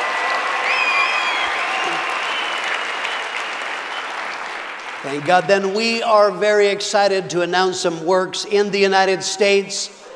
Going into Boston, Massachusetts, out of Prescott, Arizona, Anthony and Natalie Cassio.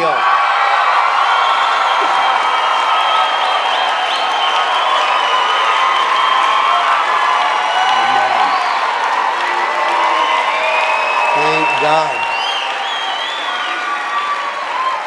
Thank God.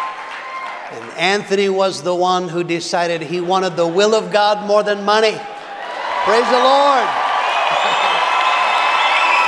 Thank God. Going into Rio Grande City, Texas, out of Uvalde, Texas, Victor and Julissa Reyes.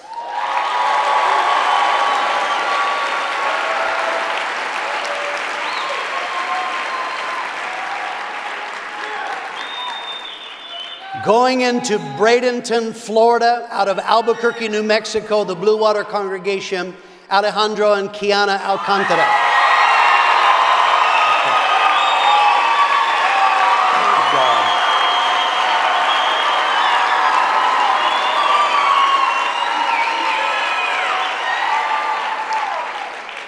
Going into Sparks, Nevada, out of Reno, Nevada, Nolan and Destiny Tom.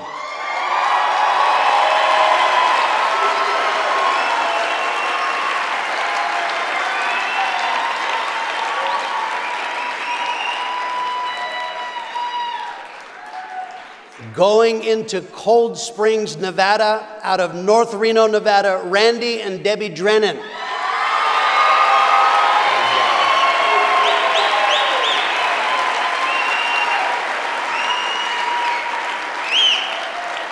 And we're excited. This is a milestone. This is the first church plant out of North Reno.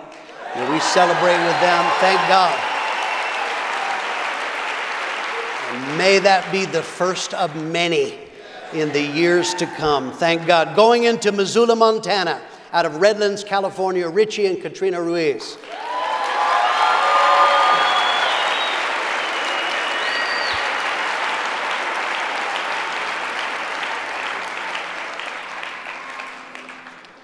Going into Omaha, Nebraska, out of West Las Vegas, Nevada, Nico and Nico Watts.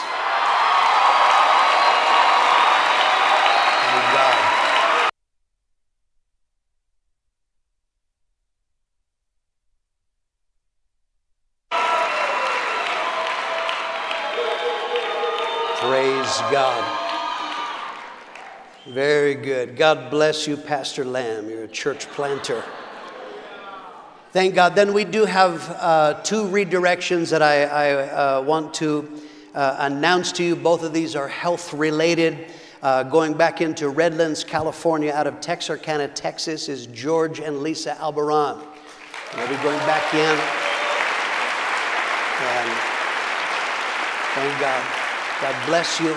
And I ask that you'd pray for our brother who's been diagnosed with cancer. So I'm asking that you would pray for him. And then uh, I want my brother Gary Marsh to stand. Where is Gary? Someone here? Some wave. He's over there. Gary Marsh. Gary Marsh is, uh, has some uh, health issues. That means he uh, is going to step down from the First Phoenix Church. He's going to come into Prescott. But I want to salute you, my brother Gary. You have done a fantastic job. Thank God for you. Thank God. Amen.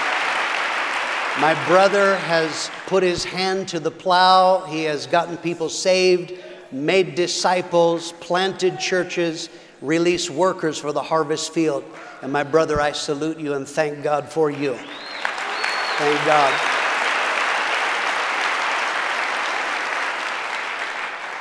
Taking the First Phoenix Church from Pastor Marsh is his disciple, Tom and Leanna Philippi. They're coming. Thank God.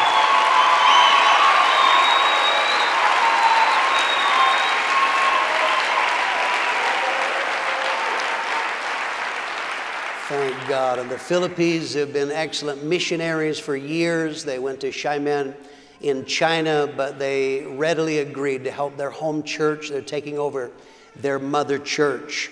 Uh, going into San Marcos, California, out of Oceanside, California, is Eric and Monica Zeladon.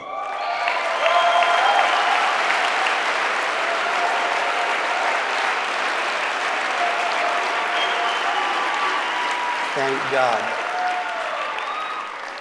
And they're taking over for the Stows who are going to Spain. And then out of the Gallup, New Mexico, they planted a, a worker going into Ho Chi Minh City, Vietnam that was uh, there, but they've needed a worker to take the church in Cuba.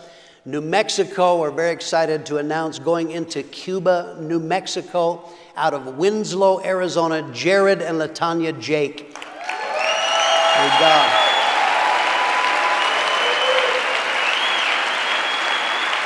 Thank God. And this is a milestone because this is the church in Chinle. This is their first grandbaby church. And so we're excited about that. Thank God. Thank God, thank God. And then I want to announce that the new concert directors in Prescott uh, here, uh, Devin and Jackie Riles. Thank God. Now, I want to, all of the, the uh, men, the leaders that I spoke to, if you'll come up on the platform, we're going to pray. We're going to ordain these people into ministry. Pastor Rich Cox, if you would come and help me and uh, help uh, shepherd these people so they can receive prayer. This is a, what we're about to do is very, very important. I, I would, if you would please stay and pray and help us. We are asking for a supernatural dimension of God to be poured out on every one of these couples so that when they go into their field of labor that God will go before them, already begin to pr- prepare and God is going to equip them for the ministry. The first couple of they will come and my brothers, you'll come. They have microphones. There you go. There you are. That's it. Go ahead and Daryl, you pray for the first. That we're asking right now your supernatural help, Father, from heaven, a grace of God upon this couple. Anoint them for this new work right now. Impart a spirit of grace.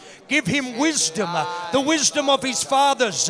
God, a dimension of God, direction on where to go and what to do. Lord, I speak open doors right now. Hallelujah, Father God. As we pray, there would be an impartation Oh, Shatarabakandarabasai. Halalabo Shatarabasai. For yea, the Lord would say to you tonight that even maybe in the past you've wondered, do I have the answers? Do I know which way to turn? But I would say to you tonight, even as you venture from me, says the Lord thy God, a spirit of wisdom and revelation shall come upon you. You shall know what steps to take. You shall know where to go, says the Lord thy God. I will guide you by my hand, says the Lord, by godly counsel and the word of God, by a still small voice in your spirit, says the Lord. Have confidence, my son and daughter. I will go with you, says the Lord. Hallelujah. Father, bring that to pass. Bless our sister in Jesus' name. Hallelujah. Thank you, Lord.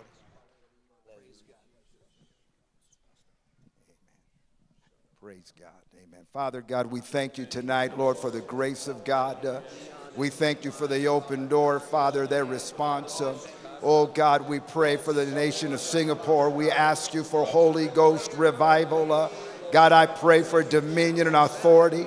I pray for signs and wonders and miracles, God, demonstrations of your power. Uh.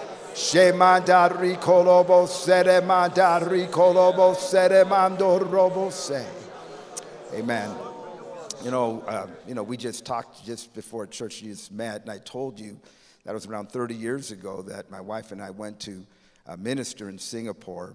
And so since then, we've always prayed for it. And I just want to tell you, you know as well as I do, it's a very materialistic place. And uh, I'm going to tell you the demonstration of the power of God is the only thing that's going to get their attention. We're going into a crazy world. There's going to be tremendous economic upheaval.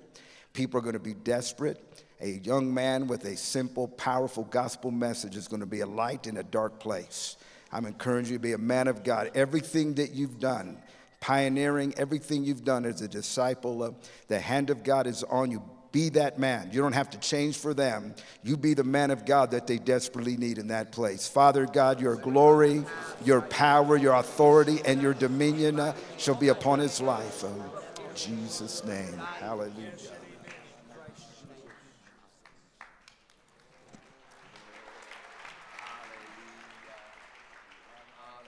So you're the one. Father, touch this couple, Lord. I pray the hand of God upon their hearts, Lord God, only with strength and grace and favor. Lord, pour out your Holy Spirit, Father, advancing your purpose and will in my brother's heart. Give him a heart for people, a love for souls as never before.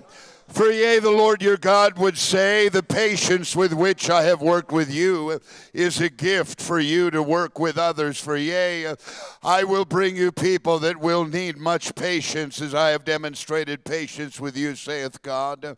And yea, I will give you key people early on in your calling and ministry, but they will not seem as such, saith God, for they will have many problems, and they will cause much grief perhaps to themselves and others around but only have patience, saith the Lord your God. For out of these rough uh, pieces of coal. I will craft diamonds that will be foundational members uh, of your church. Uh, only look for this early on in your ministry, even in the early days, uh, even in the earliest weeks, O Lord, saith God of your ministry. I will bring people to you that will need much patience, but they are the ones that I've called to be the founding members of your church, and I will bless you, saith the Lord your God, in all that you do. Oriala ravila rabasho rolo robo sanda raba rotondo rolo robo salaramanda.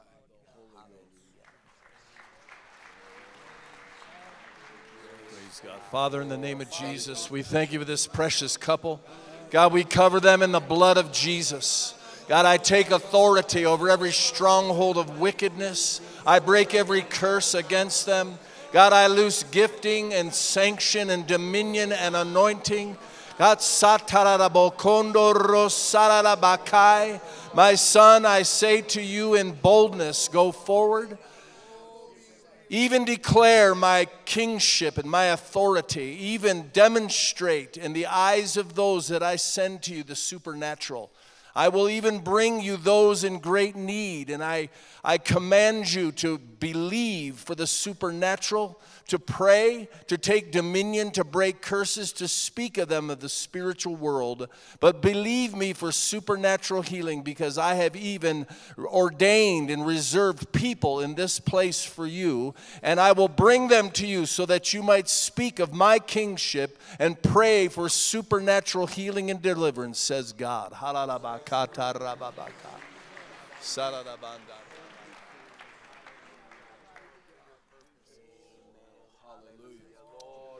Hallelujah. Thank you, Jesus. God, for this couple tonight. Uh, God, we're asking you, God, to lay your hand upon them. God, we're believing tonight for the spirit of discernment, oh God. Uh, God, give him wisdom even beyond uh, himself. I pray, God, open doors. No man can close. God, navigate, God, the complexities of ministry. Uh, God, let it be a shepherd's heart, uh, even in this people, God, tonight. Uh, I pray, God, you would give them, uh, oh God, fruit, uh, even that shall remain. Do a quick uh, and a mighty work of God. Show yourself through their faithfulness, God. Honor it tonight. in Jesus' name. Brother, I want to tell you, I um I'm a sports fan. I probably get it from my pastor, but the reality of it is there's a there's a term in the sports world that I've been just grabbing on lately and it's they say the next man up.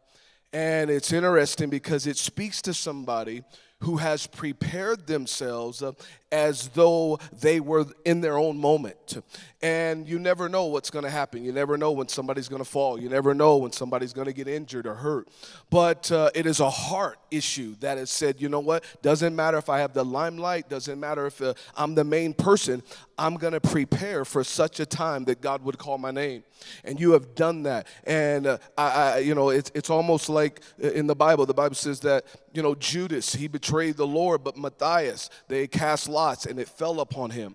And I'm saying that to say the favor of God is fallen upon you. And God's favor is on you and he is with you because you have positioned your heart like that. But God says, wants to say to you that the, as you go out and you venture for God, there's going to be people that you have your eye on. But God's going to remind you that the main person that you're looking at might not be who God is looking at. And God might be looking for the next man up. And so if as you move in that, God's going to give you men, brother. I see it right now. God's going to give you men who have the Spirit. Pastor, whatever you need me to do, I will do it. God, I pray right now by the Holy Ghost.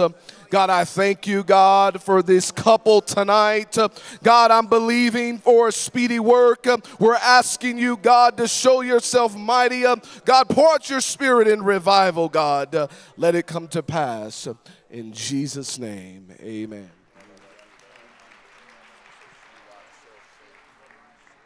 Hallelujah. Father, we thank you right now for this precious couple. Oh, Father, thank you right now, God, by the Holy Ghost. Karimamando koremamamandidi meya. Maromo shikeramamandidi mendayeya. Koremamandidi makoramandaya. Kieremanda, Lord, anointing uh, of the Holy Ghost, uh, grace, gifts, and anointing and power. Oh, hallelujah. Man, you prayed. You said, God, I need the heart of my pastor, but I don't know if I've got it. I prayed and I prayed. I'm so anxious. It's the heart of Christ. In the heart of your pastor is the heart of Christ. And as you've sought that, God's going to enlarge the very, the very thing you don't think you can have. God's going to give it to you. I don't know whether that's a love for people or there's something about your pastor you look at think, I don't know if I could ever. God's going to give it to you as you continue to seek it. Father, thank you. Right now, Lord, bless him. Father, you've heard his prayers. Bless them, God, and thank you uh, in Jesus' name. Amen.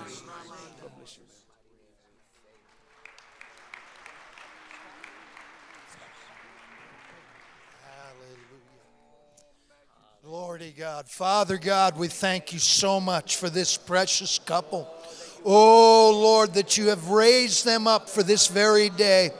You have called them according to your purpose. And we believe you right now to impart to them, God, uh, that spiritual gift, that mantle, that anointing, God, uh, oh, that will produce great fruitfulness in their lives. Uh, I do believe you for blessing upon them in Jesus' mighty name. Amen. You might be thinking, I'm getting a late start at this.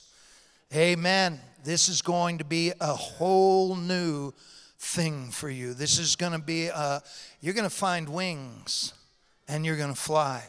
This is going to do something in your heart. I'm not just talking about your ministry, because what goes on in your heart is what's going to come out in your ministry.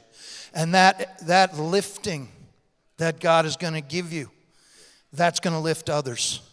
You're going to see people touched powerfully because you yourself are being touched powerfully. You're not late, you're right on time. Amen. God seal it. God accomplish your will and your purpose in Jesus' mighty name.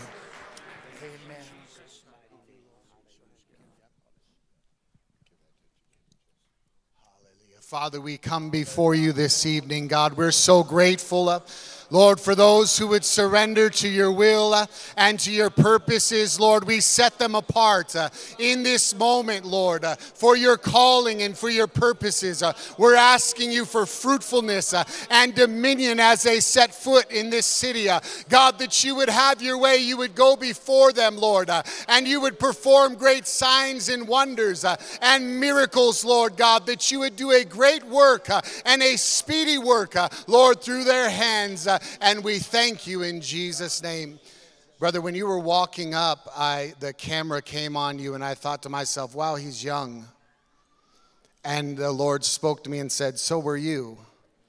I was 20 years old when I was first launched out, and uh, I'll tell you, there was a, a, a trepidation. There was a, a, real, can I do this? Am I able to do this? And uh, what I saw was God come through every time, that it wasn't me that was doing it, it was God's work and enabling hand. I had moments when people would come into the church and say, Can I speak to your dad? And I didn't know why they were asking me that. I'm the pastor. Uh, but that's, you know, and there will be people who will not think on the outside that, they, that this is very serious, but what God's doing in your heart and what God's going to do through you is a very serious work of God. And do not be afraid of their faces. You look to God and say, God, I will not fear them. Lord, you have positioned me, you have placed me, you have called me, and I will do your work. Uh, amen. God, move upon them, God. I come against the spirit of fear, God. Infuse him uh, with faith right now in Jesus' name. Uh, amen.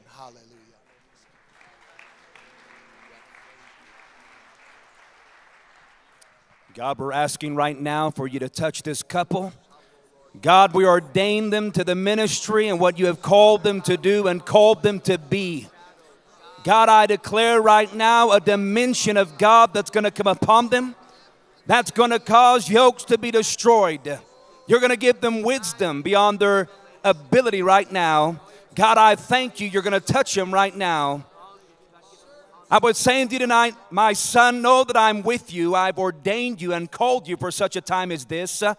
Even in past times, as you have called out to me and prayed uh, and asked of me for places and locations, know uh, that I'm bringing this to pass in my timing, uh, that I'm opening doors that no man can shut. Uh, and you have called out to me and said, God, I need to know the place, uh, I need to know the time, and know that you're stepping into destiny. Uh, this is not a work of man, this is not the work of your own ingenuity, but know that this is my divine timing, that I'm going to open doors in this place place. I'm going to move upon a people in this place. I'm going to bring them to the light and know that I've called you. Do not allow the enemy to lie to you and to doubt your calling, but know that I've called you with a great calling, thus saith God, and you shall enter destiny, and I shall move before you. And remember, it's my calling upon thy life, thus saith God. Oh, God, we thank you right now.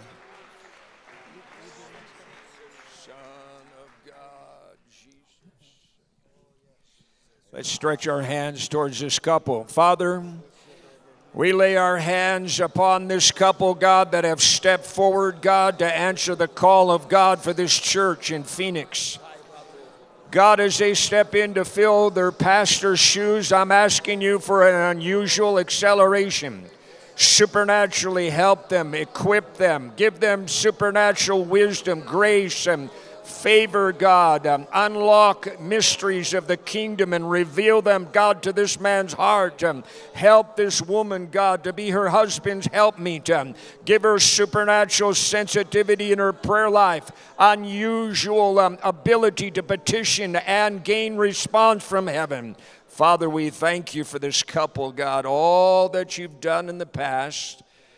God, you have been preparing them for such a time as this. You have brought them to the kingdom for such a time as this.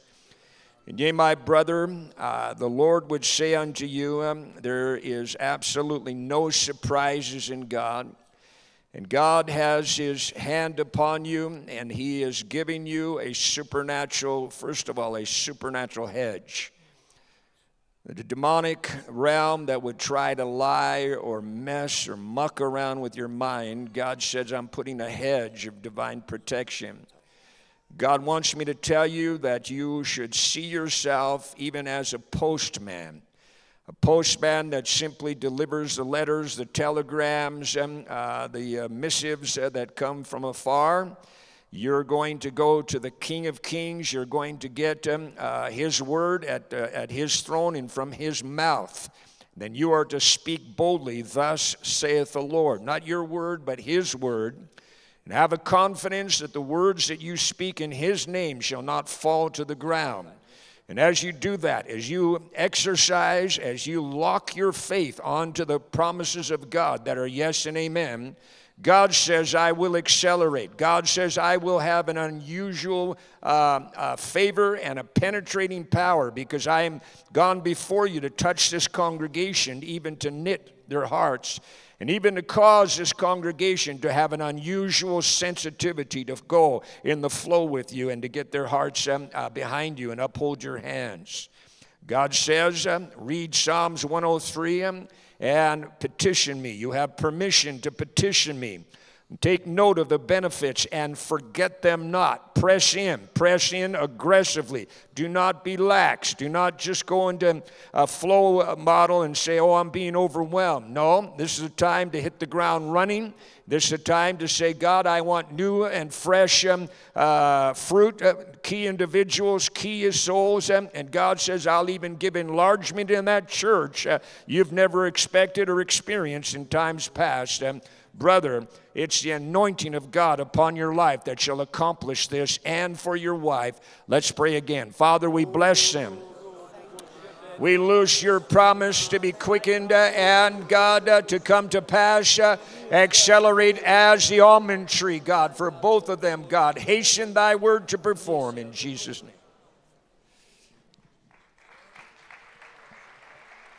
Oh, hallelujah. Hallelujah.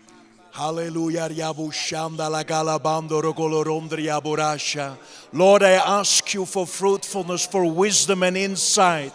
Lord, I ask you for favor and grace. Lord, I ask you, Lord, for disciples, for fruitfulness. Lord, I ask you to move in miracles, in gifts, in supernatural insight.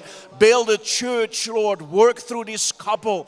Bring tremendous, tremendous acceleration and growth establish your work through this couple in Jesus' name. Hallelujah.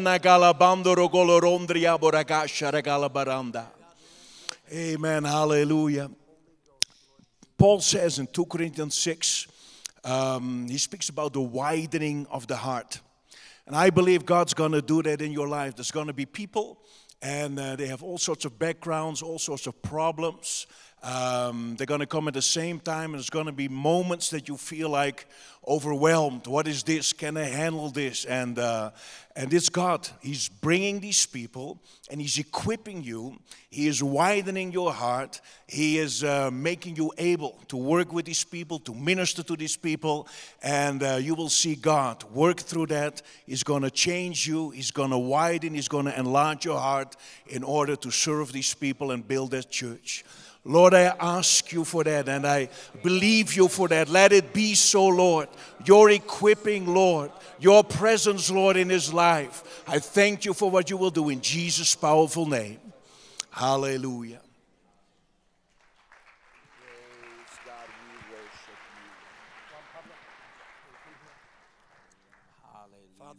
Let's pray.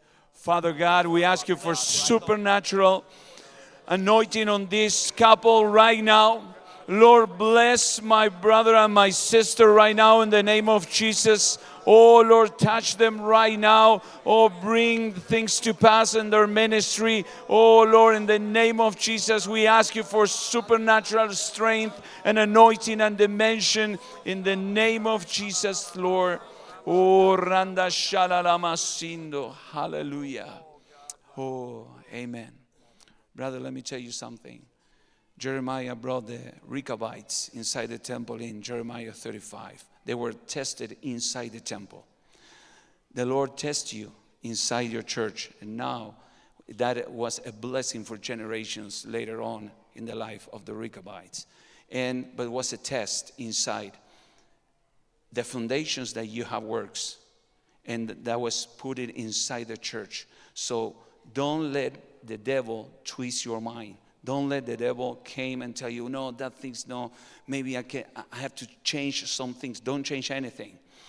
The lord put some things exactly things inside of you for one purpose and one reason is because the battlefield is totally different and you will notice, you will feel it, but you go back to Jeremiah 35 and say, No, no, Lord, you test me inside the church. You put the right foundation inside of me. I will not change anything because the temptations will be changed something. Don't change anything and move forward, and you will see that God will bless you and God will bring people in a supernatural way to you because of that, because they will see a different foundation inside of you and you will respond to them. It's because I'm a Rechabite. You know, because I have the right foundations. Sister, let me tell you something. Don't get stuck in trauma because the Lord wanted that you move forward. Don't look back. Don't look to the side. Don't get stuck in the problems and stuff like that. Just move forward. Don't look back because the Lord has great plans for you and for your life and for your ministry. Let me pray for you. Father God, right now, Lord, help this couple right now. Bless them right now. Lord, I commend all tormenting spirit to leave this my sister right now bless them in the name of jesus right now lord in the name of Jesus, by the blood of Jesus. Amen. Hallelujah. Amen. Thank God. We are going to pray for the couples that cannot be here. They're on the screen. Pastor Lamb is going to pray for the first couple, Miguel and Anna. This is their granddaughter church out of West Las Vegas. He's going to pray and ask God to ordain them. Okay, Father God, we come before you.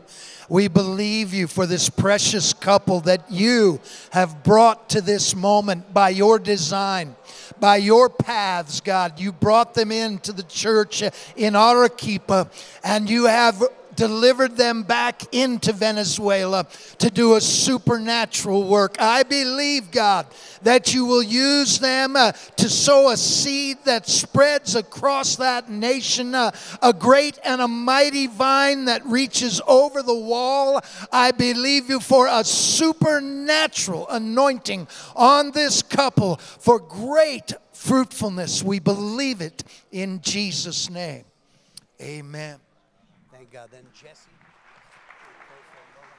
Hallelujah. Help us pray for Lova. Hallelujah. Father God, we lift up Lova and Nirina. God, that you are going to go before them as they go to pioneer. God, you're going to give him wisdom and discernment and direction. God, you're going to guide his steps. You're going to show him and put him in contact with people that are going to help him. God, divine conversions, a supernatural dimension of anointing uh, would be upon his life. In Jesus' mighty name, we thank you. Amen. This word is for Lova. Amen. Is that uh, uh, Paul writes to Timothy and says uh, to study to show yourself approved and rightly handling the word of truth. This is an area that uh, as you go in, God is going to anoint your preaching. That when people, because you have studied, because you have sought God for a word in due season, as you begin to gather believers, as you begin to work with converts, and you deliver messages that God has inspired, people are going to tell you that was exactly what I needed. It's like you knew my life uh, because you want to rightly handle that truth and deliver it. God is going to give you supernatural favor, supernatural wisdom that's going to have lasting impact on lives, making them converts, disciples, and future pastors. Let it come to pass in Jesus' mighty name. Praise God. Father, we're asking for your blessing right now. God, the hand of God would come upon this couple, a supernatural grace. Lord, as they go forth in labor in your name, uh, in this nation, Father, in this area, may, Father, your favor come. Uh, Lord, may they hear the word of God. Uh, may they have understanding, Lord. I pray, pour out revival in that place. Hallelujah. Amen, brother. I want to just encourage you. No doubt God's doing a special work in your nation. And I want you to go out with faith and confidence that not only has God moved for others, but God is going to move for you. You and your wife lay a hold of God. Say, God, give us quick converts. Give us people that would come to us. Uh, amen. Have an open heart. Uh, even like Lydia of the Old Test of the New Testament. Even like others that had an open heart. Pray for that and see what God can do because God has a plan for your nation and He wants to move through your life. Hallelujah. Father, thank you in Jesus' Name. Hallelujah. Hallelujah. We're going to pray for Gabriel and Melissa Ruiz. Hallelujah. God, we ask you tonight, God, by the Holy Ghost. Uh, God, you would go before this couple. Oh, God, I pray, put your hand of blessing upon them, oh God.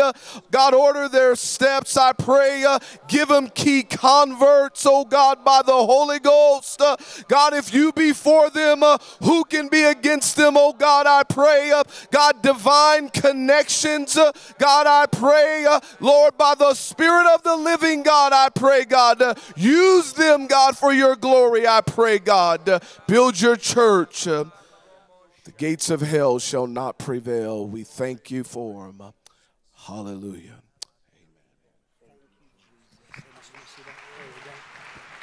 Praise God. Then finally, we're going to have the uh, Prescott Church staff come. Uh, Devin and Jackie Riles, our concert directors, are going to come. Madam Priscilla Sanderlim, our youth pastors, Chris and Paula Hart our uh, pastoral uh, visitation. Uh, Diego and Kelly Galvan, our Spanish pastors. Uh, Stephen and Emily Cassio are our assistant pastors, and, and they help in many different ways. And then Jesse and Bethany, uh, the associate pastors, and then my wife is going to come as well, and they're going to pray and ask God's blessing on every one of these workers, these men. You make your way around.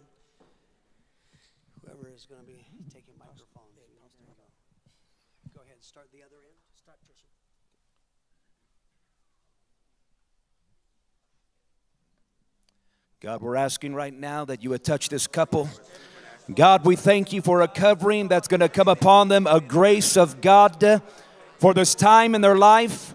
God, I thank you right now that you're going to touch this mind, that everything from the past that would allow there to be fear is going to leave right now. God, I thank you for a clarity and a confidence that's going to come. God, I'm asking right now that you would touch our brother. I would say unto you tonight, my son, that I'm giving you a fresh wind, that the past has remained in the past, and what I'm doing tonight is a fresh work. I'm rebuilding situations in thy life. Uh, no doubt that you're going to face once again, uh, that you're going to pass this time because you're leaning upon me. Uh, you have leaned upon the flesh, but now you're leaning upon the spirit. Uh, and I brought you back to this place because I'm going to cause you uh, to rise up over this. I'm going to cause you to break through, uh, to be fruitful, to be used by God. put your confidence in me and not your flesh, and know that this is in my divine timing that I'm going to use your life. I'm going to refresh you, uh, and you're going to walk in my calling for thy life, thus saith God. We thank you right now. We thank you in Jesus' name. Amen. Praise the Lord. Father, we thank you right now for your anointing, God, and your grace. Thank you for our brother, God. Korima mandara mandomo sandara maye. Korima mamande mamoromo sandara maye. Hallelujah. Praise the Lord. Amen. We heard about a race this week. And uh, it's like you began with small steps, and then it's like the wind of the Spirit got a hold of you. You were running faster and faster, and then you began to like it, it, it almost panicked you where God's taken you. It's gone so quick. It's like, it's like you're amazed how far God's taken you, and it's just, it just caused your steps just a little bit. Of God's got, there's, there's barriers that I can see you're now going to begin to leap over. There's a new dimension going to come to you in this race, brother. You've prayed for it. You just, it, it, it's, it's happened so quickly. This growth in you, you're aware of it, and it just shocked you for a little bit. God said, No, no, no, that's me. I've got now, I'm going to cause you to start leaping over things. Father, thank you right now, right now for the, the anointing and the grace uh, Lord, and the blessing, God. quickly, Lord God, in Thank you, Lord. name. Amen.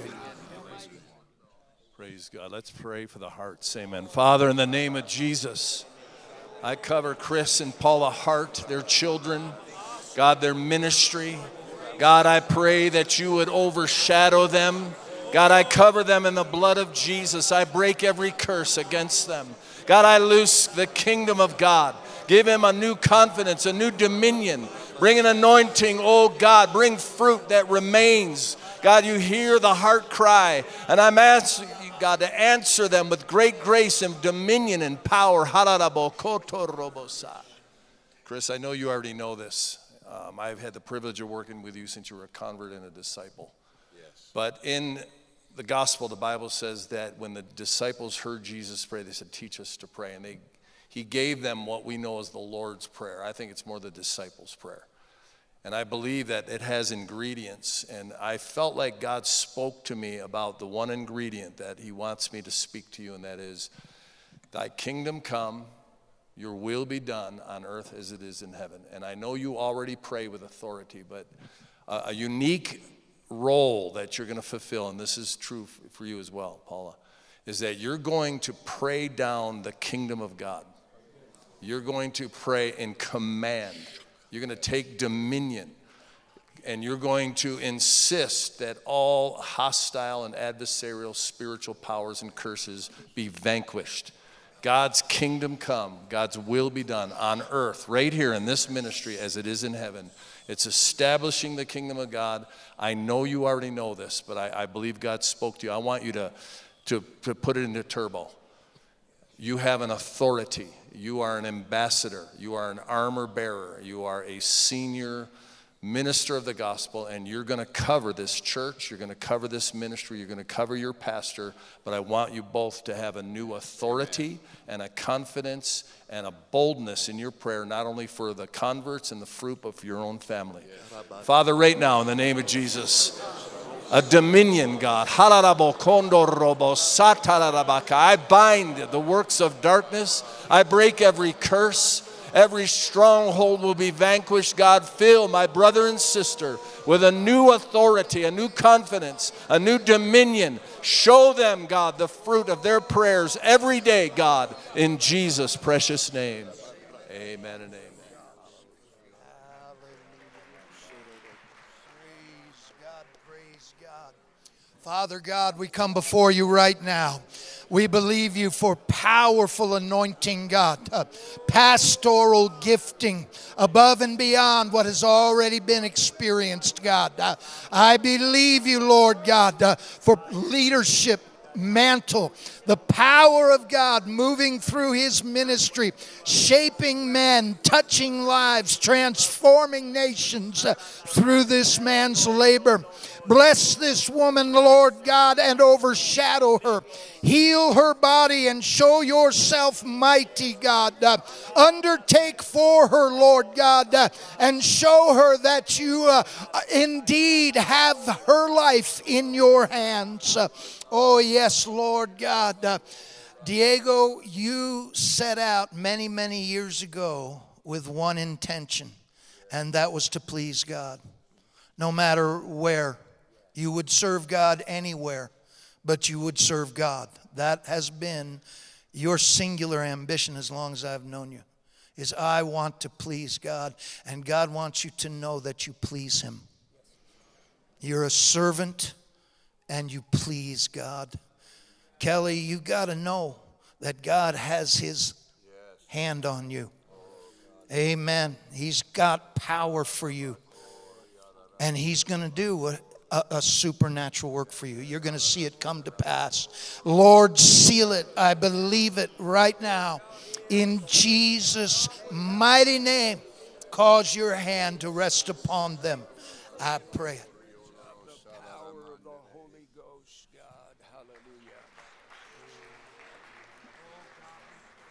Father, we lay hands, God, for a fresh anointing on this couple. Stephen and Emily, God, as they serve in this church, God, as they are armor bearers for their leadership and pastors. God, you have raised up a faithful man, and you have promised that faithful men and women shall abound with blessing. I'm asking you, God, Put your hedge of divine protection around their life, not only to protect them uh, from things from without and fiery arrows from fired from without, God shall not penetrate them. But God, that you're going to cause a cultivating, a rich um, uh, resources to be cultivated within that hedge that are going to accelerate. And even like, oh God, the vine of Joseph that ran up the wall and over, overran the wall. I'm asking you, God, as I sense this man has a servant's heart, which means he has a loyal heart. God, that is the currency of heaven that you are pleased with, that purchases, God, promotion and enlargement and favor. I'm asking you, God, as this man, you've heard him cry in your ear, give me my uh, pastor's spirit, my pastor's heart. Enlarge me, God. Open my eyes to behold wonderful things in the Word of God.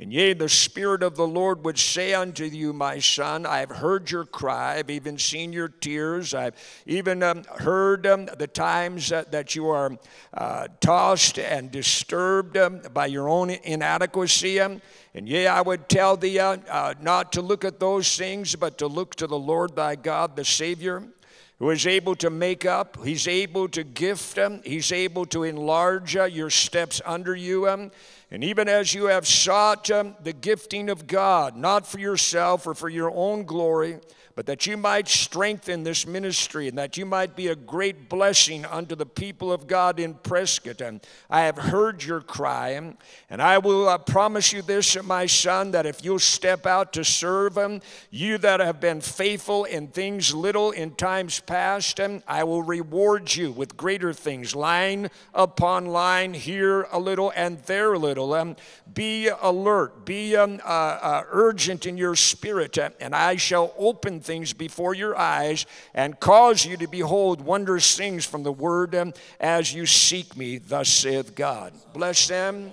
Bless this couple, this marriage, um, their ministry, their prayer life, God, uh, their spirit in this church. In Jesus' name. Hallelujah. Amen. Hallelujah. God, we ask you tonight, uh, God, to move upon this couple. We thank you. God, for their life, God, their service. Um, God, in times past and going forward, God, I pray uh, you would continue to equip them. God, I pray, uh, God, I'm asking you right now, God, uh, for wisdom, God, for insight and revelation to continue, oh God. Uh, I pray, God, you would bring along uh, co laborers, God, upon them to help them, God. oh, to lift up their hands, God, to strengthen them. even when they're weak, I pray, God, God, you would make strong their hands, oh God, I pray. Uh, oh, all that you do, God, and they labor for you, God, do it uh, to your glory. We thank you. You know, Jesse, I, from one assistant to another, uh, Pastor Stevens was just saying that, but the reality of it is, it's so true because we watch you we watch you, man, and and it's so powerful. And I think it's been said, but I just want to bear witness uh, that uh, you know Paul said, "I have no one like-minded." And when he said that, you could feel the cry of his heart to think, I may have a lot of people or men even, but no one like minded. And what it is, is a, it's a heart, man, and it's a spirit. And assisting is the right spirit. And it takes the right spirit because you're privy to so many things. And I've known you in the church and outside of the church, and you've kept so much. Uh, uh, privy things close to your chest and close to your heart, and you've carried this ministry with dignity. And I want to tell you, I've, I've listened to some of your Sunday schools, and, to, and you're a great teacher, but you teach us so much by the life you guys are living. And we watch you, and the impact is literally worldwide. And we are very grateful for your lives. And I'm gonna, we're going to believe God to fill every gap and every need you've asked God. God, I want to see more. I want to see uh, what I see in my pastor. I want to see the, the level of discipleship uh, and just the stirring to go and to, and to do the things of God, this pioneering spirit that is in you. Listen, God is doing it. He's going to continue to do it. And there's an acceleration across the fellowship because of your lives. Hallelujah. God, I thank you by the blood tonight.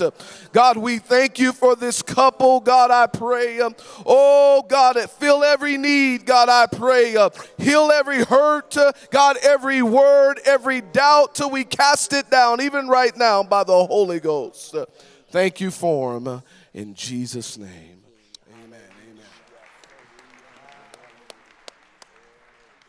Here you are again. I want to ask you to stand with me. And uh, I've said this before. I've said it with uh, Pastor and Sister Mitchell. I say it again. Um, the weight of the fellowship. Uh, no one here knows all that this couple carries.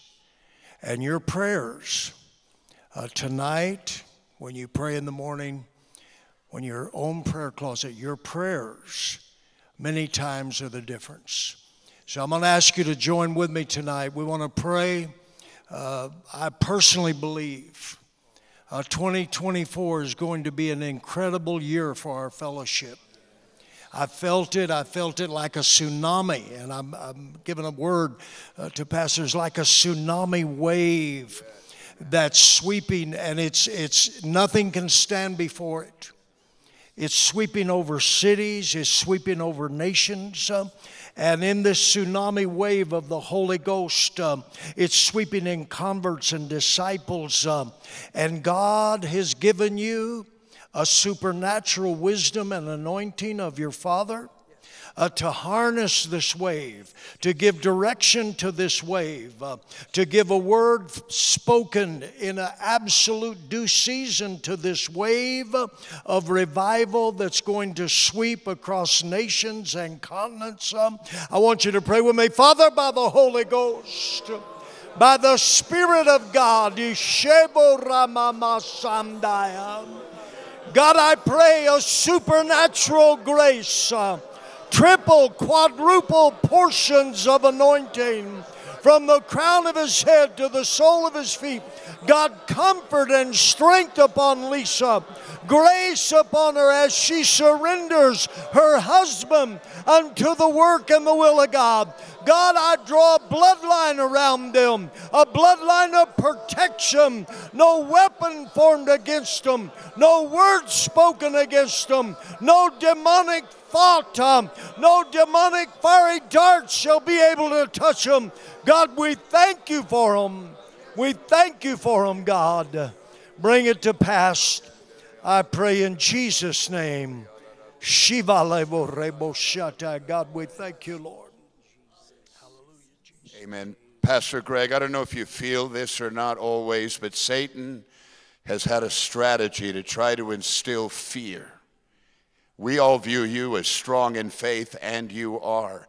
But the strategy of hell has tried to sow fear, to neutralize and slow down and hinder the progress of God working in your life. But the Lord would say, My son, yea, I have built a hedge around you, saith the Lord, and I have fought battles for you that you know not of, saith God. For when the enemy comes in like a flood, the Lord your God has raised up a standard against him. And yea, the Lord would say, Your life is surrounded by the standards that I have set to oppose. The, the strategy of hell, saith God. And yea, I will expand, for God has not given us a, a spirit of fear, but a power and of love and of a sound mind. And yea, the Lord has gifted you to instill and to inspire men to believe me for supernatural power to work through their lives and through your counsel and your faith and the crusades and your ministry and the conferences. A supernatural fire and dimension of power uh, shall be emanated through your ministry throughout the fellowship uh, and throughout the world. and has Pastor Mitchell demonstrated love? yea, I will demonstrate my love through your life in compassion for people, uh, in a willingness to help those who can do nothing for you, uh, those who are uh, in confusion, uh, whose lives have been shattered and broken and have no hope. Uh, yea, the Lord your God will give you a love and a patience and a compassion uh, to put broken lives together. and yea, the Lord your God would say, I have given you power, love, and of a sound mind. And the sound mind that I give you, saith God, will stabilize all those around you in an atmosphere of confusion and assault. When things are going array, saith God, Yea, I will give you a sound mind, and that sound mind will be imparted to those around you, and I will lift confusion wherever you go, saith the Lord your God. For I have not given a spirit of fear, uh, only power and love and of a sound mind, saith the Lord your God.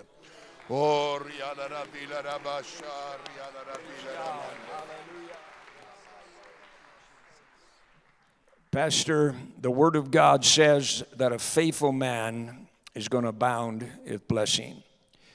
And just as you have uh, entered into that ministry, uh, you didn't seek it, it wasn't by any kind of de- design or conniving of your own. God ordained you. You absolutely, if any of us in this place, should have the greatest confidence that God raised you up and put you where you're at. And I have a good word. I feel it's a smile from heaven for you. And that is that just like you uh, have mentioned numerous times how surprised you were, we heard that uh, this last uh, fantastic 30 session lesson on, on, on memorial stones was you caught you by surprise. It wasn't premeditated. God wanted me to tell you something. He knows that you're a worker. You're not a shirker. You're always a man that's uh, prepared many, many steps ahead and you outwork almost most of us, if not all of us. But God wanted me to tell you that just as He delighted you by dropping a handful on purpose on you, don't allow the pressures. Your ministry is, has such high demand, and the devil wants to get things, you know, rocking and rolling and pressure and stress.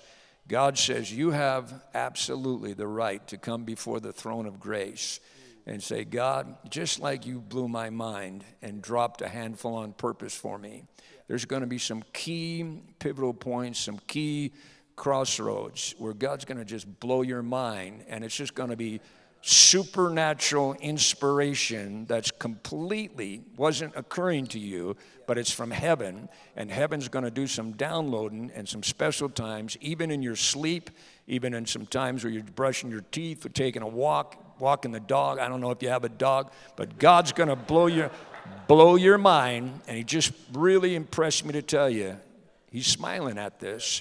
And He said, he said, You and him, you and him are going to have a good, a good laugh about this. He's going to drop some hand, handfuls on purpose on you that is going to really bless and help your ministry. God, in its time, accelerate, enlarge, refresh this couple we need this couple, God. Refresh them with Holy Ghost um, living water, God, in Jesus' mighty name. Amen. Praise God. Thank God for His goodness. Amen. I, I am so excited at what God is doing in our fellowship, and it's such a privilege to be able to be a part of it. I'm so grateful for all of you together we are reaching the world. And I'm believing. God bless you. Be dismissed. Be safe. Six months from now, we're going to do it again. God bless you. Amen.